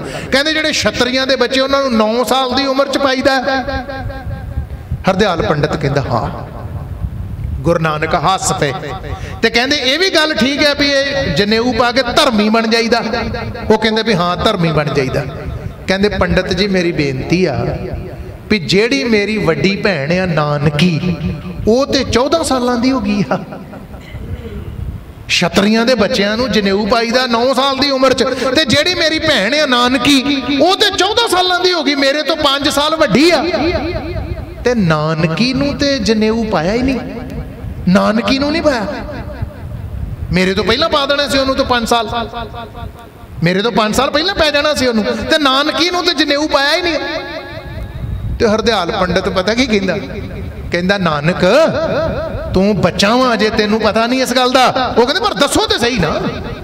ਉਹ ਕਹਿੰਦੇ, ਨਾਨਕ, ਇਹ ਜਿਹੜਾ ਜਨੇਊ ਆ ਨਾ, ਇਹ ਔਰਤਾਂ ਨੂੰ ਨਹੀਂ ਪਾਈਦਾ। ਔਰਤ ਨੂੰ ਨਹੀਂ ਪਾਈਦਾ, ਜਨਾਨੀ ਨੂੰ ਨਹੀਂ ਪਾਈਦਾ ਇਸਤਰੀ ਨੂੰ। ਗੁਰੂ ਨਾਨਕ ਹੱਸ ਕੇ ਪਤਾ ਕੀ ਕਹਿੰਦੇ? ਕਹਿੰਦੇ ਇਹਦਾ ਮਤਲਬ ਇਹ ਆ ਵੀ ਤੇਰੇ ਧਰਮ ਦੇ ਅਸੂਲ, ਤੇਰੇ ਧਰਮ ਦੀ ਮਰਿਆਦਾ ਮਰਦ ਵਾਸਤੇ ਹੋ ਰਿਹਾ ਤੇ ਔਰਤ ਵਾਸਤੇ ਹੋ ਰਿਹਾ? ਉਹ ਕਹਿੰਦਾ, ਹਾਂ। ਪੰਡਤ ਕਹਿੰਦਾ, ਹਾਂ। ਕਹਿੰਦੇ ਇਹਦਾ ਮਤਲਬ ਤੇਰੇ ਧਰਮ ਦੀ ਮਰਿਆਦਾ ਮੇਰੇ ਪਿਤਾ ਵਾਸਤੇ ਹੋ ਰਿਹਾ ਤੇ ਮੇਰੀ ਮਾਂ ਵਾਸਤੇ ਹੋ ਰਿਹਾ। ਮੇਰੇ ਲਈ ਹੋ ਰਿਹਾ ਤੇ ਕੱਲ ਨੂੰ ਮੇਰਾ ਵਿਆਹ ਹੋ ਜੇ ਤੇ ਮੇਰੀ ਘਰ ਵਾਲੀ ਵਾਸਤੇ, ਮੇਰੀ ਪਤਨੀ ਲਈ ਹੋਰ, ਮੇਰੀ ਭੈਣ ਵਾਸਤੇ ਹੋਰ ਤੇ ਮੇਰੇ ਵਾਸਤੇ ਹੋਰ। ਉਹ ਕਹਿੰਦਾ ਵੀ ਹਾਂ। ਪੰਡਤ ਕਹਿੰਦੇ ਵੀ ਹਾਂ, ਇਹ ਔਰਤਾਂ ਨੂੰ ਨਹੀਂ ਪਾਈਦਾ, ਜਨਾਨੀਆਂ ਨੂੰ ਨਹੀਂ ਪਾਈਦਾ, ਮਰਦਾਂ ਵਾਸਤੇ ਆਏ। ਤੇ ਗੁਰੂ ਨਾਨਕ ਹੱਸ ਕੇ ਪਤਾ ਕੀ ਕਹਿੰਦੇ? ਕਹਿੰਦੇ, ਪੰਡਤ ਜੀ, ਇੱਕ ਗੱਲ ਆਖਾਂ। ਪੰਡਤ ਕਹਿੰਦੇ, ਦੱਸੋ। ਗੁਰੂ ਨਾਨਕ ਸਾਹਿਬ ਕਹਿੰਦੇ, ਉਹ ਪੰਡਤਾ ਸਾਡੇ ਘਰ ਆਣ ਕੇ ਕੰਧਾਂ ਖੜੀਆਂ ਕਰਨ ਲੱਗ ਪਿਆ। ਸਾਡੇ ਘਰੇ ਆਣ ਕੇ ਕੰਧਾਂ ਖੜੀਆਂ ਕਰਨ ਲੱਗ ਪਿਆ। ਕੰਧਾਂ ਖੜੀਆਂ ਕਰਨ ਦਾ ਮਤਲਬ ਸਮਝਦੇ ਹੋ? ਵੀ ਵਖਰੇਮ ਕਿਸੇ ਵਾਸਤੇ ਅਸੂਲ ਹੋਰ ਤੇ ਕਿਸੇ ਵਾਸਤੇ ਹੋਰ। ਕੰਧ ਖੜੀ ਕਰ ਦਿੱਤੀ ਵਿੱਚ। ਦੀਵਾਰ। ਕਹਿੰਦੇ, ਉਹ ਸਾਡੇ ਘਰੇ ਆਣ ਕੇ ਦੀਵਾਰਾਂ ਖੜੀਆਂ ਕਰਨ ਲੱਗ ਪਿਆ ਤੂੰ? ਸਾਡੇ ਘਰੇ ਆਣ ਕੇ ਕੰਧਾਂ ਖੜੀਆਂ ਕਰਨ ਲੱਗ ਪਿਆ, ਦਵੈਸ਼, ਇੱਕ ਦੂਜੇ ਦੇ ਪ੍ਰਤੀ ਪੈਦਾ ਕਰਨ ਲੱਗ ਪਿਆ ਸਾਡੇ ਦਿਲਾਂ 'ਚ, ਵੀ ਤੇਰੇ ਲਈ ਅਸੂਲ ਔਰ ਮੈਂ ਜਨੇਊ ਪਾ ਸਕਦਾ, ਤੂੰ ਨਹੀਂ ਪਾ ਸਕਦੀ। ਇਹ ਦੀਵਾਰ ਖੜੀ ਕਰਦੀ, ਕੰਧ ਖੜੀ ਕਰਦੀ ਤੂੰ ਸਾਡੇ ਘਰ। ਸਾਡੇ ਘਰੇ ਕੰਧਾਂ ਮਾਰਨ ਵਾਸਤੇ ਆ ਗਏ, ਦੀਵਾਰਾਂ ਖੜੀਆਂ ਕਰਨ ਆ ਗਏ ਸਾਡੇ ਘਰ। ਤੇ ਹਰਦਿਆਲ ਪੰਡਤ ਜੀ ਕਹਿੰਦੇ, ਨਾਨਕ ਫੇਰ, ਇੱਕ ਬਾਤ ਉਦਣ 9 ਸਾਲ ਦੀ ਉਮਰ 'ਚ ਗੁਰੂ ਨਾਨਕ ਨੇ ਆਖੀ। ਕਹਿੰਦੇ, ਹਰਦਿਆਲ ਪੰਡਤ ਜੀ, ਤੁਸੀਂ ਤੇ ਸਾਡੇ ਘਰੇ ਆਣ ਕੇ ਕੰਧਾਂ ਖੜੀਆਂ ਕਰਨ ਲੱਗ ਪਏ ਹੋ। ਸਾਡੇ ਘਰੇ ਆ ਕੇ ਦੀਵਾਰਾਂ ਖੜੀਆਂ ਕਰਨ ਲੱਗ ਪਏ ਹੋ। ਉਹ ਭੋਲਿਆ ਪੰਡਤਾ, ਤੂੰ ਕੀ ਜਾਣੇ? ਜਿਹੜੀਆਂ ਦੁਨੀਆ ਵਿੱਚ ਪਹਿਲਾਂ ਕੰਧੀਆਂ ਕੰਧਾਂ ਖੜੀਆਂ ਕੀਤੀਆਂ ਆ, ਜਿਹੜੀਆਂ ਦੀਵਾਰਾਂ ਦੁਨੀਆ 'ਚ ਪਹਿਲਾਂ ਖੜੀਆਂ ਕੀਤੀਆਂ ਆ, ਉਹ ਭੋਲਿਆ, ਮੈਂ ਉਹ ਵੀ ਦੁਨੀਆ ਵਿੱਚੋਂ ਢਾਉਣ ਵਾਸਤੇ ਆਇਆ ਆ। ਉਹ ਵੀ ਢਾ ਦੇਣੀਆਂ ਮੈਂ। ਮੈਂ ਦੀਵਾਰਾਂ ਢਾਉਣ ਵਾਸਤੇ ਆਇਆ। ਦਵੈਸ਼, ਈਰਖਾ, ਇਹ ਬ੍ਰਾਹਮਣ ਆ, ਇਹ ਛਤਰੀ ਆ, ਇਹ ਵੈਸ਼ ਆ, ਇਹ ਸ਼ੂਦਰ ਆ। ਇਹਨਾਂ ਸਾਰਿਆਂ ਨੂੰ ਮੈਂ ਇੱਕੋ ਥਾਂ ਤੇ ਬਿਠਾ ਦੇਣਾ, ਇਹ ਵੀ ਦੀਵਾਰਾਂ ਢਾ ਦੇਣੀਆਂ। ਇਹ ਅਮੀਰ ਆ, ਇਹ ਗਰੀਬ ਆ, ਇਹ ਇਸਤਰੀ ਆ, ਇਹ ਮਰਦ ਆ, ਇਹ ਐਸ ਨਸਲ ਦਾ, ਇਹ ਐਸ ਨਸਲ ਦਾ। ਇਹ ਸਾਰੇ ਦੀਆਂ ਸਾਰੀਆਂ ਦੀਵਾਰਾਂ ਮੈਂ ਢਾਉਣ ਵਾਸਤੇ, ਮੈਂ ਗਰਾਉਣ ਵਾਸਤੇ ਆਇਆ। ਤੂੰ ਸਾਡੇ ਘਰ ਹੀ ਆ ਕੇ ਭੋਲਿਆ, ਕੰਧਾਂ ਖੜੀਆਂ ਕਰਨ ਲੱਗ ਪਿਆ। ਤੂੰ ਸਾਡੇ ਘਰ ਆ ਕੇ ਕਰਨ ਲੱਗ ਪਿਆ ਇਹ ਕੰਮ। ਬਾਕੀ ਦੀਵਾਰਾਂ ਵੀ ਦੁਨੀਆ ਦੀਆਂ ਢਾ ਦੇਣੀਆਂ। ਇਹ ਉਹ ਬਾਤ ਛੜੂਗੀ, ਨਾਨਕ ਨਾਮ ਚੜਦੀ ਕਲਾ ਤੇਰੇ ਭਾਣੇ। ਇੱਥੇ ਸਰਬੱਤ ਦੀ ਗੱਲ ਇੱਕ ਹੋਊਗੀ ਇੱਥੇ। ਇੱਥੇ ਸਰਬੱਤ ਦੇ ਭਲੇ ਦੀ ਬਾਤ ਛਿੜੂਗੀ। ਇੱਥੇ ਸਭੇ ਸਾਂਝੀ ਵਾਲ ਸਦਾਇਨ। ਤੋ ਕਿਸੇ ਨਾ ਦਿਸੇ ਬਾਹਰਾ ਜੀਓ। ਇਹ ਬਾਤਾਂ ਛਿੜਦੀਆਂ ਇੱਥੇ। ਇਹ ਉਹ ਧਰਮ ਆ, ਇਹ ਉਹ ਮਾਤਿਆ ਇਹ ਉਹ ਗੁਰੂ ਨਾਨਕ ਦੀ ਸਿੱਖੀ ਹੈ ਜਿੱਥੇ ਇਹ ਬਾਤਾਂ ਛਿੜਦੀਆਂ। ਇਸ ਲਈ ਸਤਗੁਰ ਸੱਚਾ ਪਾਤਸ਼ਾਹ ਬੇਪਰਵਾਹ। ਬੇਪਰਵਾਹ ਹੋ ਗਿਆ ਨਾ ਹੁਣ? 9 ਸਾਲ ਦੀ ਉਮਰ 'ਚ ਬੇਪਰਵਾਹ ਹੈ। 5 ਸਾਲ ਦੀ ਉਮਰ ਵਿੱਚ ਵੀ ਬੇਪਰਵਾਹ ਹੈ। ਆਖੋ ਸਤਨਾਮ ਸ਼੍ਰੀ, ਭਾਵੇਂ ਪਾਂਦਾ ਪੜਾਉਣ ਪੜਾਉਣ ਵਾਸਤੇ ਆ, ਤੇ ਕੀ ਕਹਿ ਰਹੇ? ਜਾਲ, ਮੋਹ, ਘਸ, ਮਸ ਕਰ, ਮਤ ਕਾਗਦ ਕਰ ਸਾਰ, ਪਾਓ ਕਲਮ ਕਰ ਚਿੱਤ, ਲਖਾਰੀ, ਗੁਰ ਪੁਸ਼ ਲਿਖ ਵਿਚਾਰ, ਲਿਖ ਨਾਮ, ਸਲਾਹ ਲਿਖ ਲਿਖ ਅੰਤ ਨਾ ਪਾਰਾਵਾਰ, ਬਾਬਾ ਇਹ ਲੇਖਾ ਲਿਖ ਜਾਣ, ਜਿੱਥੇ ਲੇਖਾ ਮੰਗੀ ਹੈ। ਤਿੱਥੇ ਹੋਏ ਸੱਚਾ ਨਿਸ਼ਾਨ। ਉਸ ਲੇਖੇ ਦੀ ਗੱਲ ਕਰ, ਤੂੰ ਕੀ ਸਿਖਾਉਣ ਡਿਆ ਮੈਨੂੰ? ਤੂੰ ਕਿਹੜੇ ਪਾਸੇ ਤੋਰਨ ਡਿਆ ਕਹਿਣ ਦਾ ਭਾਵ ਕਿ ਸਾਧ ਸੰਗਤ, ਇਹ ਗੁਰੂ ਨਾਨਕ ਦਾ ਚਲਾਇਆ ਨਿਰਮਲ ਪੰਥ। ਇਹ ਗੁਰੂ ਨਾਨਕ ਦਾ ਚਲਾਇਆ ਕੀਤੋ ਸੁ ਆਪਣਾ ਪੰਥ ਨਿਰਾਲਾ। ਜਿਵੇਂ ਗੁਰੂ ਨਾਨਕ ਬੇਪਰਵਾਹ ਬੇਮੁਤਾਜ ਤੇ ਇੱਕ ਦੀ ਬਾਤ ਪਾਉਣ ਵਾਲਾ ਗੁਰੂ ਦੇ ਸਿੱਖਾ, ਜੇ ਭਾਈ ਗੁਰਦਾਸ ਕਹਿਣ ਵੀ ਸ਼ਬਦ ਜਿੱਤੀ ਸਿੱਧ ਮੰਡਲੀ, ਤੇ ਤੇਰੇ ਕੋਲ ਵੀ ਤੇ ਅੱਜ ਉਸੇ ਸ਼ਬਦ ਦਾ ਖਜ਼ਾਨਾ ਤੇਰੇ ਕੋਲ ਵੀ ਤੇ ਅੱਜ ਉਸੇ ਬਾਣੀ ਦਾ ਖਜ਼ਾਨਾ, ਅੱਜ ਉਸੇ ਬਾਣੀ ਨਾਲ ਜੁੜ, ਉਸੇ ਸ਼ਬਦ ਨਾਲ ਸਾਂਝ ਪਾ, ਸ਼ਬਦ ਗੁਰ ਪੀਰਾ, ਗਹਿਰ ਗੰਭੀਰਾ, ਬਿਨ ਸ਼ਬਦ ਹੈ, ਜਗ ਬੌਰਾਨੰ, ਇਸ ਸ਼ਬਦ ਨਾਲੋਂ ਟੁੱਟ ਕੇ ਐਵੇਂ ਠੋਕਰਾਂ ਨਾ ਖਾਂਦਾ ਫਿਰ। ਧੰਨ ਗੁਰੂ ਨਾਨਕ ਦੇਵ ਮਹਾਰਾਜ ਸੱਚੇ ਪਾਤਸ਼ਾਹ ਜੀ ਦਾ 550 ਸਾਲਾ ਪ੍ਰਕਾਸ਼ ਦਿਹਾੜਾ ਮਨਾਉਣ ਵਾਲਿਆ। ਅੱਜ ਲੋੜ ਆ ਗੁਰੂ ਨਾਨਕ ਦੀ ਉਸ ਵਿਚਾਰਧਾਰਾ ਨੂੰ ਅਪਣਾਉਣ ਦਾ, ਗੁਰੂ ਨਾਨਕ ਦੇ ਉਹਨਾਂ ਸਿਧਾਂਤਾਂ ਨੂੰ ਅਪਣਾਉਣ ਦਾ, ਗੁਰੂ ਨਾਨਕ ਦੇ ਉਸ ਨਿਰਮਲ ਪੰਥ ਤੇ ਨਿਰਾਲੇ ਪੰਥ ਵਿੱਚ ਸ਼ਾਮਲ ਹੋ ਕੇ ਸ਼ਬਦ ਗੁਰੂ, ਸ੍ਰੀ ਗੁਰੂ ਗ੍ਰੰਥ ਸਾਹਿਬ, ਸੱਚੇ ਪਾਤਸ਼ਾਹ ਜੀ ਦੇ ਲੜ ਲੱਗਣ ਦੀ ਲੋੜ ਆ ਔਰ ਉਹਨਾਂ ਸਿਧਾਂਤਾਂ ਦੇ ਧਾਰਨੀ ਹੋ। ਗੁਰੂ ਨਾਨਕ ਦੀ ਸਿੱਖੀ ਨੂੰ ਕਮਾਉਣ ਦੀ ਲੋੜ ਆ। ਨਾ ਹਮ ਹਿੰਦੂ, ਨਾ ਮੁਸਲਮਾਨ। ਅੱਲਾ ਰਾਮ ਕੇ ਪਿੰਡ ਪ੍ਰਾਣ। ਜੀਵਨ ਇਹ ਬਣ ਜਾਏ ਕਿ ਉਹ ਜਿਹੜਾ ਤੇਰਾ ਚਲਾਇਆ ਗੁਰੂ ਨਾਨਕ ਦਾ ਨਿਰਮਲ ਪੰਥ ਸੀ, ਅੱਜ ਉਹ ਤੂੰ ਉਸ ਨਿਰਮਲ ਪੰਥ ਦਾ ਮੈਂਬਰ ਬਣ। ਧੰਨ ਗੁਰੂ ਨਾਨਕ ਦੇਵ ਸਾਹਿਬ ਸੱਚੇ ਪਾਤਸ਼ਾਹ ਦੀ ਸਿੱਖੀ ਨੂੰ ਕਮਾ। ਤੇ ਨਾਉ ਗਰੀਬ ਨਵਾਜ ਹੈ, ਬੇਮੋਹਤਾਜ, ਨਾ ਮੋਹ ਮੁਹਾਬਾ। ਕੱਲ ਨੂੰ ਵਿਚਾਰ, ਇਥੋਂ ਅੱਗੇ ਸ਼ੁਰੂ ਕਰਾਂਗੇ। ਕੋਈ ਕਿਣਕਾ ਕਿਤੇ ਸਾਡੇ ਦਿਲਾਂ, ਹਿਰਦਿਆਂ ਦੇ ਵਿੱਚ ਵਸ ਜੇ, ਸਹੀ ਅਰਥਾਂ 'ਚ ਸਾਨੂੰ ਸਿੱਖੀ ਕਮਾਉਣੀ ਹੈ ਅੱਜ। ਸ਼ਬਦ। ਦਾ ਭਾਵ ਤੇ ਕਥਾ ਦਾ ਇਹ ਹੀ ਹੈ ਨਾ, ਵਿਆਖਿਆ ਕਰਨ ਦਾ ਵੱਖ-ਵੱਖ ਵਿਦਵਾਨ ਜਨ ਦਾਸ ਤੋਂ ਪਹਿਲਾਂ ਵੀ ਹਾਜ਼ਰੀਆਂ ਭਰ ਕੇ ਗਏ। ਆਉਣ ਵਾਲੇ ਦਿਨਾਂ ਵਿੱਚ ਵੀ ਸਤਿਕਾਰਯੋਗ ਵੀਰ ਜੀ, ਸਕੱਤਰ ਸਾਹਿਬ ਸਰਦਾਰ ਰੁਪਿੰਦਰ ਸਿੰਘ ਰਿਮਨ ਦੱਸ ਰਹੇ ਸੀ, ਗਿਆਨੀ ਜੀ ਹੋਰਾਂ ਨਾਲ ਵੀ ਬਚਨ ਚੱਲ ਰਹੇ ਸੀ ਸ਼ਾਮੀ, ਕਿ ਆਉਣ ਵਾਲੇ ਦਿਨਾਂ ਵਿੱਚ ਵੀ ਵਿਦਵਾਨਾਂ ਨੇ ਹਾਜ਼ਰੀਆਂ ਭਰਨੀਆਂ। ਤਤ ਦੀ ਬਾਤ ਇਹ ਆ ਕਮਾਇਆ ਕੀ ਆ? ਕਹਿਣ ਵਾਲੇ ਵੀ ਮੈਂ ਵੀ ਤੁਹਾਡੇ ਨਾਲ ਆ। ਖੱਟਿਆ ਕੀ ਆ? ਕਿਆ ਤੇ ਖੱਟਿਆ? ਕਹਾਂ ਗਵਾਇਆ? ਕੀ ਖਟਿਆਈ ਕੀ ਕਮਾਇਆਈ ਅੱਜ 550 ਸਾਲਾਂ ਮਨਾ ਰਹੇ ਜੇ। 50 ਸਾਲਾਂ ਨੂੰ 600 ਸਾਲਾਂ ਹੋਣਾ 50 ਸਾਲਾਂ ਨੂੰ ਵੀ ਹੋਣਾ। ਕਿੰਨਿਆਂ ਨੇ ਵੇਖਣਾ ਆਖੋ ਸਤਨਾਮ ਸ੍ਰੀ। ਹਮ ਆਦਮੀ ਹਾਂ ਇੱਕ ਦਮੀ। ਮੋਲਤ ਮੋਤ ਨਾ ਜਾ ਅਗਲੇ ਸਾਹ ਦਾ ਨਹੀਂ ਭਰੋਸਾ ਕਿ ਆਉਣਾ ਵਾ ਕਿ ਨਹੀਂ ਆਉਣਾ। ਇਸ ਲਈ 50 ਸਾਲਾਂ ਨੂੰ ਗੁਰੂ ਨਾਨਕ ਸਾਹਿਬ ਦੀ 600 ਸਾਲਾ ਸ਼ਤਾਬਦੀ ਆਊਗੀ। ਪਰ ਸਿੱਖਾ, ਪਤਾ ਨਹੀਂ ਮਾਲਕ ਦਾ ਹੁਕਮ ਕੀ ਹੋਣਾ ਉਦੋਂ ਤੱਕ। ਯਤਨ ਕਰ, ਇਹ 550 ਸਾਲਾਂ ਤੇ ਗੁਰੂ ਨਾਨਕ ਦਾ ਹੋ ਜਾ। ਗੁਰੂ ਨਾਨਕ ਦਾ ਹੋ ਜਾ। ਤੇ ਇਹ ਕਹਿਣ ਦੀ ਲੋੜ ਨਹੀਂ ਕਿ ਵੀ ਗੁਰੂ ਨਾਨਕ ਸਾਡਾ ਹੋ ਜਾਊਗਾ। ਮਾਫ ਕਰਿਓ ਗੁਰੂ ਨਾਨਕ ਤੇ ਹੈ ਹੀ ਸਾਡਾ। ਜਿਹੜਾ ਗੁਰੂ ਨਾਨਕ ਹੈ ਨਾ, ਇਹ ਕਹਿਣ ਦੀ ਲੋੜ ਨਹੀਂ ਵੀ ਤੁਸੀਂ ਗੁਰੂ ਨਾਨਕ ਦੇ ਹੋ ਜਾਓ, ਗੁਰੂ ਨਾਨਕ ਤੁਹਾਡਾ ਹੋ ਜਾਊਗਾ। ਨਹੀਂ, ਗੁਰੂ ਨਾਨਕ ਹੈ ਹੀ ਸਾਡਾ। ਉਹ ਐਦਾਂ ਦੋਵੇਂ ਬਾਹਾਂ ਕਰਕੇ, ਜਿਵੇਂ ਬੱਚਾ ਹੁੰਦਾ ਨਾ ਜੀ ਧੀ ਪੁੱਤ ਤੇ ਐਦਾਂ ਮਾਂ, ਬਾਹਾਂ ਕਰਦੀ ਐਦਾਂ ਬਾਪ ਆ, ਬਾਹਰੋਂ ਆਇਆ ਕੰਮ ਤੋਂ ਕਿਦੋਂ ਐਦਾਂ ਬਾਹਾਂ ਕਰਦਾ ਬਾਪ ਐਦਾਂ ਬਾਹਾਂ ਕਰਦੀ ਮਾਂ। ਤੇ ਜਿਹੜਾ ਬੱਚਾ ਭੱਜ ਕੇ ਕਿੰਨਾ ਚਾਹ ਚੜਦਾ ਉਹਨੂੰ। ਇਹ 550 ਸਾਲਾਂ ਤੇ ਸਮਝ ਲਓ, ਹੈ ਤੇ ਹਰ ਵਕਤ, ਹਰ ਟਾਈਮ ਹਰ ਸਮੇਂ 24 ਆਵਰਸ ਅੱਠੇ ਪੈਰ। ਬਾਬਾ ਨਾਨਕ ਐਦਾਂ ਅਸੀਂ ਉਹਦੇ ਧੀਆਂ ਪੋਤਿਆਂ ਹਰ ਜੀ ਮਾਤਾ ਹਰ ਜੀ ਪਿਤਾ ਹਰ ਜੀ ਉਹ ਪ੍ਰਤਪਾਲਕ ਹਰ ਜੀ ਮੇਰੀ ਸਾਰ ਕਰੇ ਹਮ ਹਰ ਕੇ ਬਲ। ਗੁਰਦੇਵ ਮਾਤਾ ਗੁਰਦੇਵ ਪਿਤਾ ਤੂੰ ਮੇਰਾ ਪਿਤਾ ਤੂੰ ਹੈ ਮੇਰਾ ਮਾਤਾ। ਐਦਾਂ ਬਾਹਾਂ ਕਰਕੇ। ਬਾਬਾ ਨਾਨਕ ਤੁਹਾਨੂੰ 550 ਸਾਲਾਂ ਤੇ ਵਾਜਾ ਮਾਰਦਾ। ਆ ਮੇਰੀਏ ਧੀਏ ਆ ਮੇਰੇ ਬੱਚਿਆ ਜੇ ਅੱਜ ਤੱਕ ਭੁੱਲਿਆ ਰਿਆਂ ਅੱਜ ਤੱਕ ਭਟਕਦਾ ਰਿਆਂ ਠੋਕਰਾਂ ਖਾਣ ਡਿਆਂ ਆ ਮੈਂ ਤੈਨੂੰ ਘੁੱਟ ਕੇ ਆਪਣੀ ਗਲਵਕੜੀ ਵਿੱਚ ਲੈ ਲਾਂ। ਮੇਰੇ ਗਲ ਲੱਗ ਤੇ ਮੇਰਾ ਹੋ ਜਾ, ਮੈਂ ਤੇ ਹਾਂ ਹੀ ਤੇਰਾ। ਸਦੀਵੀ ਖੁਸ਼ੀਆਂ ਤੇ ਸਦੀਵੀ ਜੀਵਨ ਦਾ ਆਨੰਦ ਆਪਣੀ ਝੋਲੀ 'ਚ ਮੇਰੇ ਕੋਲੋਂ ਪਵਾ ਲਾ ਉਹ ਤੇ ਵੰਡ ਰਿਹਾ ਆ, ਉਹ ਤੇ ਬਖਸ਼ਿਸ਼ਾਂ ਵਰਤਾ ਰਿਹਾ ਆ। ਤੂੰ ਵੇਖ, ਗੁਰੂ ਨਾਨਕ ਦੀ ਗਲਵਕੜੀ ਵਿੱਚ ਆਉਣ ਵਾਸਤੇ ਤਿਆਰ ਆ ਕਿ ਨਹੀਂ? ਗੁਰੂ ਦੇ ਹੋ ਜੀਏ, ਆਪ ਸਵਾਰੇ ਮੈਂ ਮਿਲੈ, ਮੈਂ ਮਿਲਿਆ ਸੁਖ ਹੋਏ। ਫਰੀਦਾ ਜੇ ਤੂੰ ਮੇਰਾ ਹੋਏ ਰਹੇ, ਸਭ ਜੱਗ ਤੇਰਾ ਹੋਏ। ਤੇਰਾ ਹੋਏ। ਸਹੀ ਅਰਥਾਂ 'ਚ ਗੁਰੂ ਕੀ ਸਿੱਖੀ ਕਮਾਈਏ। ਜੀਵਨ ਵਿੱਚ ਗੁਰੂ ਦਾ ਪਿਆਰ ਕਮਾਈਏ, ਰੋਮ ਰੋਮ ਦੇ ਵਿੱਚ ਗੁਰੂ ਨਾਨਕ ਦੇ ਉਪਦੇਸ਼ ਨੂੰ ਵਸਾਈਏ, ਸਹੀ ਅਰਥਾਂ 'ਚ ਗੁਰੂ ਨਾਨਕ ਦੀਆਂ ਖੁਸ਼ੀਆਂ ਪਾਈਏ। ਆ ਵੀ ਲੋਕ ਸਫਲਾ ਤੇ ਪਰਲੋਕ ਵੀ ਸੁਹੇਲਾ ਬਣਾਈਏ। ਇਹ ਲੋਕ ਸੁਖੀਏ ਪਰਲੋਕ ਸੁਹੇਲੇ, ਨਾਨਕ ਹਰ ਪ੍ਰਭ, ਆਪੇ ਮੇਲੇ। ਬੇਅੰਤ ਭੁੱਲਾਂ ਦੀ ਖਿਮਾ, ਸਾਰੀਆਂ ਸੰਗਤਾਂ ਨੂੰ ਸਤਿਗੁਰੂ ਦਰੋਂ ਕਰੋ ਨਾਮਦਾਨ ਗੁਰੂ ਚਰਨਾਂ ਦਾ ਨੇਮ, ਪ੍ਰੇਮ ਬਖਸ਼ਿਸ਼ ਕਰਕੇ ਕਰਤਾਰਤ ਕਰਨ। ਇੰਨੀਆਂ ਬੇਨਤੀਆਂ ਪ੍ਰਵਾਨ ਕਰਿਓ ਜੇ। ਕੱਲ ਨੂੰ ਆਪ ਵੀ ਆਇਆ ਜੀ। ਆਪਣੇ ਭੈਣ, ਭਰਾ, ਸੱਜਣ, ਮਿੱਤਰ ਆਂਡੀ ਗੁਆਂਢੀ, ਸਾਥ ਲੈ ਕੇ ਆਇਓ। ਤੁਸੀਂ ਗੁਰੂ ਨਾਨਕ ਦੇ ਦਰ ਦੀਆਂ, ਇਸ ਦਰ ਦੀਆਂ ਰੌਣਕਾਂ ਵਧਾਇਓ। ਤੁਹਾਡੇ ਘਰਾਂ ਦੀਆਂ ਰੌਣਕਾਂ ਗੁਰੂ ਨਾਨਕ ਨੇ ਲਾ ਛੱਡਣੀਆਂ। ਤੁਹਾਡੇ ਘਰਾਂ 'ਚ ਰੌਣਕਾਂ ਗੁਰੂ ਨਾਨਕ ਨੇ ਬਣਾ ਛੱਡਣੀਆਂ ਸਾਰੀਆਂ ਸੰਗਤਾਂ ਦਾ, ਸਮੂਹ ਪ੍ਰਬੰਧਕ ਸਹਿਬਾਨਾਂ ਦਾ। ਧੰਨਵਾਦ ਗੁਰੂ ਘਰ ਦੇ ਵਜ਼ੀਰ ਗ੍ਰੰਥੀ ਸਹਿਬਾਨ। ਧੰਨਵਾਦ ਗੁਰੂ ਗ੍ਰੰਥ ਸਾਹਿਬ ਜੀ ਦਾ ਰੋਮ ਰੋਮ ਕਰਕੇ ਸ਼ੁਕਰ ਹੈ। ਕੱਲ ਨੂੰ ਇੱਥੋਂ ਹੀ ਵਿਚਾਰ ਆਰੰਭ ਕਰਾਂਗੇ। ਸਭਨਾਂ ਨੇ ਹਾਜ਼ਰੀਆਂ ਭਰਨੀਆਂ। ਭੁੱਲਾਂ ਚੁੱਕਾਂ ਦੀ ਮਾਫੀ, ਸਭ ਦਾ ਧੰਨਵਾਦ। ਵਾਹਿਗੁਰੂ ਜੀ ਕਾ ਖਾਲਸਾ। ਵਾਹਿਗੁਰੂ ਜੀ ਕੀ ਫਤਿਹ।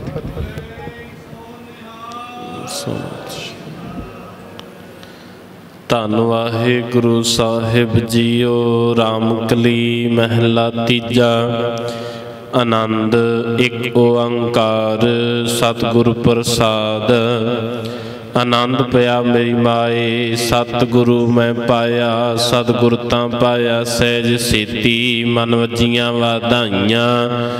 ਰਾਗ ਰਤਨ ਪਰਵਾਰ ਪਰੀਆਂ, ਸ਼ਬਦ ਗਾਵਣ ਆਈਆਂ ਸ਼ਬਦੋ ਤਾਂ ਗਾਵੋ ਹਰੀ ਕੇਰਾ, ਮਨ ਜਿਨੀ ਵਸਾਇਆ। ਕਹਿ ਨਾਨਕ ਆਨੰਦ ਹੋਵਾ ਸਤਿਗੁਰੂ ਮੈਂ ਪਾਇਆ। ਏ ਮਨ ਮੇਰਿਆ, ਤੂੰ ਸਦਾ ਰਹੋ ਹਰ ਨਾਲੇ, ਹਰ ਨਾਲ ਰਹੋ ਤੂੰ ਮਨ ਮੇਰੇ। ਦੁਖ ਸਭ ਵਿਸਾਰਨਾ, ਅੰਗੀਕਾਰੋ ਕਰੇ ਤੇਰਾ, ਕਰ ਸਭ ਸਵਾਰਨਾ। ਸਭ ਨਾਂਗਲਾ ਸਮਰੱਥ ਸੁਆਮੀ ਸੋ ਕਿਉ ਮਨੋ ਵਿਸਾਰੇ। ਕਹਿ ਨਾਨਕ ਮਨ ਮੇਰੇ, ਸਦਾ ਰਹੋ ਹਰਨਾਲੇ ਸਾਚੇ ਸਾਹਿਬਾ, ਕਿਆ ਨਹੀਂ ਕਰਤੇ ਰਹਿ। ਕਰ ਤਾਂ ਤੇਰਾ ਸਭ ਕਿਛ ਹੈ, ਜਿਸ ਦੇ ਸੋ ਪਾਵਾਏ। ਸਦਾ ਸਿਵ ਸਲਾਹਾ ਤੇਰੀ, ਨਾਮ ਮਨ ਵਸਾਵਾਏ। ਨਾਮ ਜਿਨ ਕੈ ਮਨ ਵਸਿਆ, ਵਾਜੇ ਸ਼ਬਦ ਕਨੇਰੇ। ਕਹਿ ਨਾਨਕ ਸੱਚੇ ਸਾਹਿਬ ਕਿਆ ਨਹੀਂ ਕਰਤੇ ਰਹਿ ਸਾਚਾ ਨਾਮ ਮੇਰਾ ਆਧਾਰੋ। ਸਾਚ ਨਾਮ ਆਧਾਰ ਮੇਰਾ, ਜਿਨ ਭੁੱਖਾਂ ਸਭ ਗਵਾਈਆਂ। ਕਰ ਸ਼ਾਂਤ ਸੁਖ ਮਨ ਆਏ ਵਸਿਆ, ਜਿਨ ਇਸ਼ਾਂ ਸਭ ਪੁਜਾਈਆਂ। ਸਦਾ ਕੁਰਬਾਨ ਕੀਤਾ ਗੁਰੂ ਵਿਟੋਂ, ਜਿਸ ਦੀਆਂ ਏ ਵਡਿਆਈਆਂ।